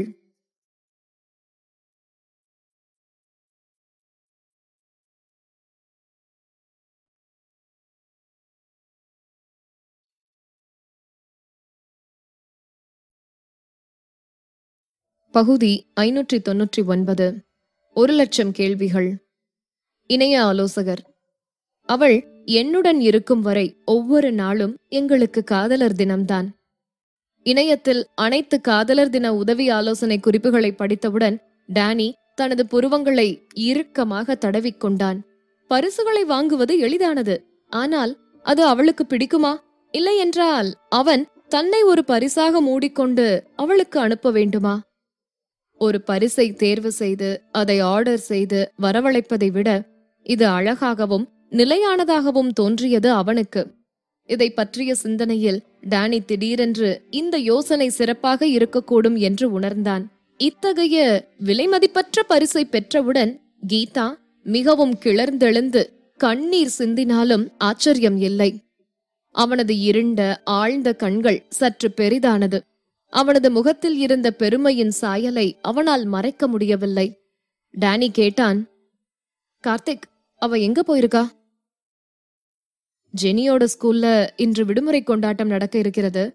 அதோடு இன்னைக்கு தங்கள் குழந்தைகளுக்கான விடுமுறை வீட்டு பாடங்களை சேகரிக்க வேண்டுமாம். அதனால் ஏற்கனவே மேடம் லீவ் எடுத்திருக்காங்க. அவங்க இப்ப ஜெனியோட ஸ்கூலுக்கு போயிருப்பாங்க. கார்த்திக் பணிவுடன் தெரிவித்தான். முன்பெல்லாம் ஜெனியின் எந்த ஒரு விஷயத்திலும் கலந்து கொள்ள டேனி தான் பொறுப்பேற்பான். இப்பொழுது கீதா உடன் இருப்பதால் ஜெனி அவளுக்கு அப்பா என்று ஒருத்தர் இருப்பதையே மறக்க ஆரம்பித்திருந்தாள். இதை கேட்ட டேனி நிமிர்ந்து கார்த்திக்கை ஒரு பார்வை பார்த்தான். ஆவணங்களை பக்கத்தில் வைத்துவிட்டு அவன் தனது நாற்காலியில் இருந்து எழுந்து நின்றான். கார்த்திக் காரை தயார் செய்யுங்க. நாம நேரா ஸ்கூலுக்கு போய் அவங்கள பிக்கப் பண்ணிக்கலாம் என்றான். காதலர் தினம் என்பதால் நகரத்தின் எல்லா இடங்களிலும் விளக்குகள் மற்றும் வண்ண பதாகைகள் இருந்தன. அவை மகிழ்ச்சியான சூழ்நிலையை அலங்கரித்தன. கூடுதலாக பல கடைகளில் ஜோடி பலூன்கள் மற்றும் மென்மையான பொம்மைகளுடன் காதலர் தின தீம் பொருட்கள் விற்பனைக்கு வந்திருந்தன. ஜெனி கடந்த காலத்தில் மிகவும் குட்டிப் பெண்ணாக இருந்தாள். பல விஷயங்கள் அவளுக்கு தெரியாது. இப்போது அவள் உற்சாகமாக கார் ஜன்னல் மீது தன்னை சாய்த்துக் கொண்டு வேடிக்கை பார்த்தாள். இதையெல்லாம் பார்த்தபோது அவள் ஒரு லட்சம் கேள்விகளை கேட்டாள். அழகான மம்மி எனக்கு ஒரு புது பிக்கி பொம்மை வேணும். அழகான மம்மி கீதா அவளது மென்மையான உடலை அன்போடு அணைத்துக் கொண்டபடியே அவளுடைய எல்லா கேள்விகளுக்கும் பொறுமையாக பதிலளித்தாள். நாட்டில் உள்ள பாரம்பரிய நடைமுறைகளை அவளுக்கு விளக்கி சொன்னாள். அவள் சொன்னது ஜெனிக்கு அரைக்குறையாகத்தான் புரிந்திருக்கும். ஆனால் தீவிரமாக தோற்றமளிக்கும் ஜெனியின் முகத்தை அவள் உற்று பார்த்தபோது அவளை அறியாமலேயே ஜெனியை கட்டிக்கொண்டு அவளுக்கு முத்தம் கொடுத்தாள். ஜெனி அழகான மம்மி இல்ல. நீ என்ன மம்மின்னு கூப்பிடணும். ஜெனி அவளை அழைக்கும் விதத்தை கீதா கேட்கும் போதெல்லாம் அவள் மிகவும் முக்கியமான ஒன்றை நினைத்ததாக தோன்றியது. அவள் பார்வையை தாழ்த்தி ஜெனியை சீரியஸாக பார்த்தாள். ஜெனியை பெற்றவள் அவள்தான் என்பதை ஜெனிக்கு சரியாக விளக்கி சொல்ல அவளுக்கு இன்னும் ஒரு வாய்ப்பு கிடைக்கவில்லை. இதை நினைத்து கீதாவுக்கு வருத்தமாக இருந்தது. அவள் ஜெனியை தூக்கி தனது மடியில் உட்கார வைத்தாள். ஜெனி அவளையே பார்த்து கொண்டிருக்கும் போது கீதாவும் தலையை தாழ்த்தி ஜெனியின் பெரிய அகண்ட கண்களை உற்று பார்த்தாள். சிறிது தயக்கத்திற்கு பிறகு அவள் மெதுவாக ஜெனி கொஞ்ச நாளைக்கு முன்னால மம்மிக்கு ஏதோ உடம்பு சரியில்லாம ஆச்சு. அதனால நான் தற்செயலா ஜெனிய மறந்துட்டேன் என்றாள் கீதா. ஆனா மம்மி ஜெனிய ரொம்ப நேசிக்கிறா. நான் உன்னை ரொம்ப ரொம்ப நேசிக்கிறேன். இப்போது மம்மி உன்கிட்ட திரும்பி வந்துட்டேன். நீ மம்மிய மன்னிப்பியா? அவள் பேசி முடித்ததும் பதட்டமாக ஜெனியின் முகத்தை பார்த்தாள் கீதா. ஜெனி இன்னும் சின்ன பெண்ணாக இருந்ததால் அவளுக்கு கீதா சொன்னதன் அர்த்தம் புரியுமா என்று அவளுக்கு தெரியவில்லை. பெற்ற அம்மாவுக்கும் ஜெனி அழைக்கும் அழகான அம்மாவுக்கும் இடையில் என்ன வேறுபாடு என்று ஜெனிக்கு புரிய வைக்க முடியுமா என்றும் அவளுக்கு தெரியாது. அவள் சிறிய உதடுகள் லேசாக துடிப்பதையும் அவள் ஒரு வார்த்தை கூட பேசாததையும் பார்த்து கீதாவின் இதயம் உடனடியாக அவள் தொண்டையில் வந்து நின்றது. அது அவளுடைய தவறு. ஜெனி பிறந்ததில் இருந்து அவளுக்கு தாய் இல்லை. இப்பொழுது அவள் திடீரென்று எங்கிருந்தோ வந்து அவசர அவசரமாக ஜெனியை சமாதானம் செய்து கொண்டிருக்கிறாள். ஜெனி அவளை ஏற்றுக்கொள்ள வேண்டும் என்று அவசரப்பட்டாள் அவள். ஜெனி இது ஏன் தவறு? நீங்க தான் என்னோட உண்மையான மம்மியா? ஜெனியின் குழந்தைத்தனமான மற்றும் மென்மையான குரல் ஒலித்த போது கீதா பேசத் தொடங்கினாள்.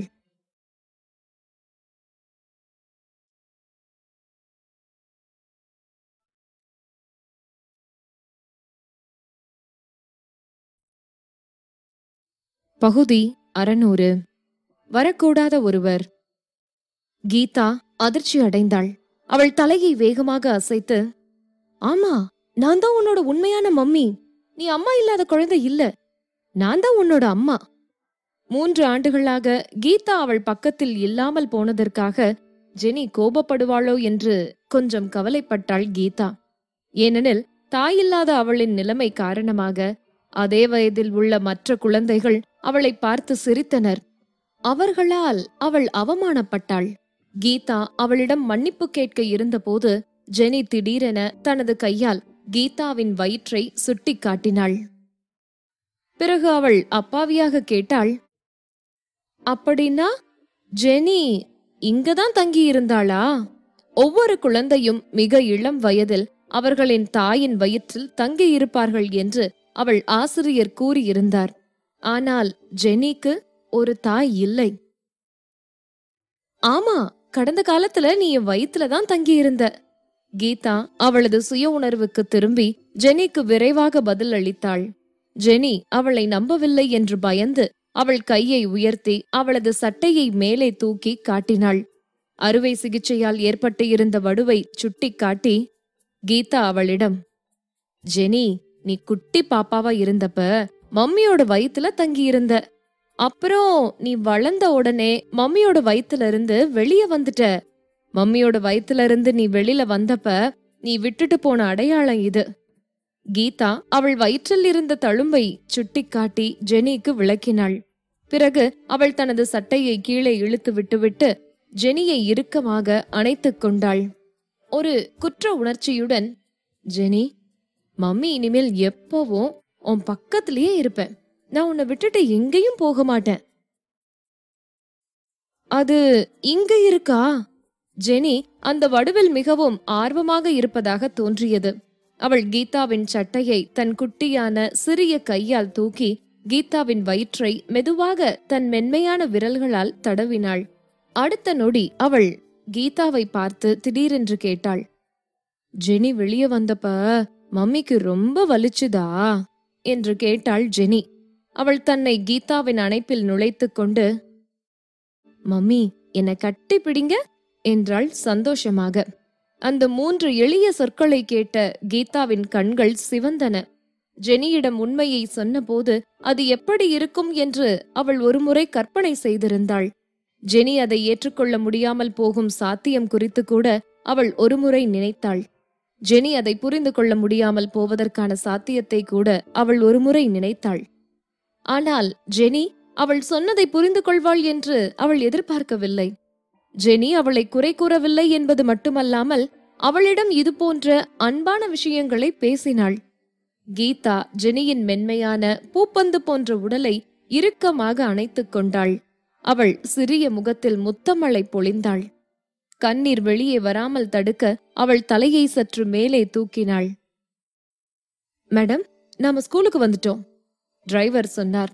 ஜெனியின் மழலையர் பள்ளிக்கு வெளியே கார் நின்றது. கீதா அவசரமாக திரும்பி அவள் கண்களின் மூலைகளில் இருந்த கண்ணீரை துடைத்தாள். ஜெனியை தன் கைகளில் சுமந்து கொண்டு கார் கதவை திறந்து இறங்கினாள். வரவேற்பறையில் இருந்த ஆசிரியர் ஒருவர் கீதாவை பார்த்தவுடன் முன்னால் வந்து அவளை வரவேற்றார். ஜெனியை பார்த்த ஆசிரியர் அவளை மகிழ்ச்சியுடன் அணைத்துக் கொண்டார்.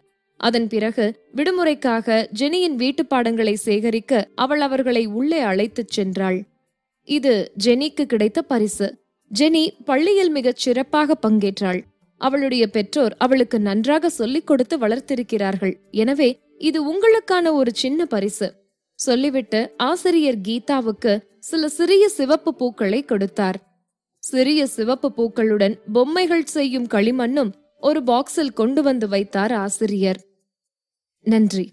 ஆசிரியரிடம் இருந்து பொம்மைகளை கீதா வாங்கிய போது ஜெனி மகிழ்ச்சியுடன் சிரித்தாள். ஜெனி சிரிப்பதை பார்த்து கீதாவும் புன்னகைத்தாள். அவள் எல்லாவற்றையும் சேகரித்துக் கொண்டு வெளியேற இருக்கும் போது ஜெனியின் பள்ளிக்கு வெளியே ஒரு பழக்கமான உருவம் நிற்பதை கவனித்தாள். குழந்தைகள் பள்ளியில் இருக்கக்கூடாத ஒருவர்.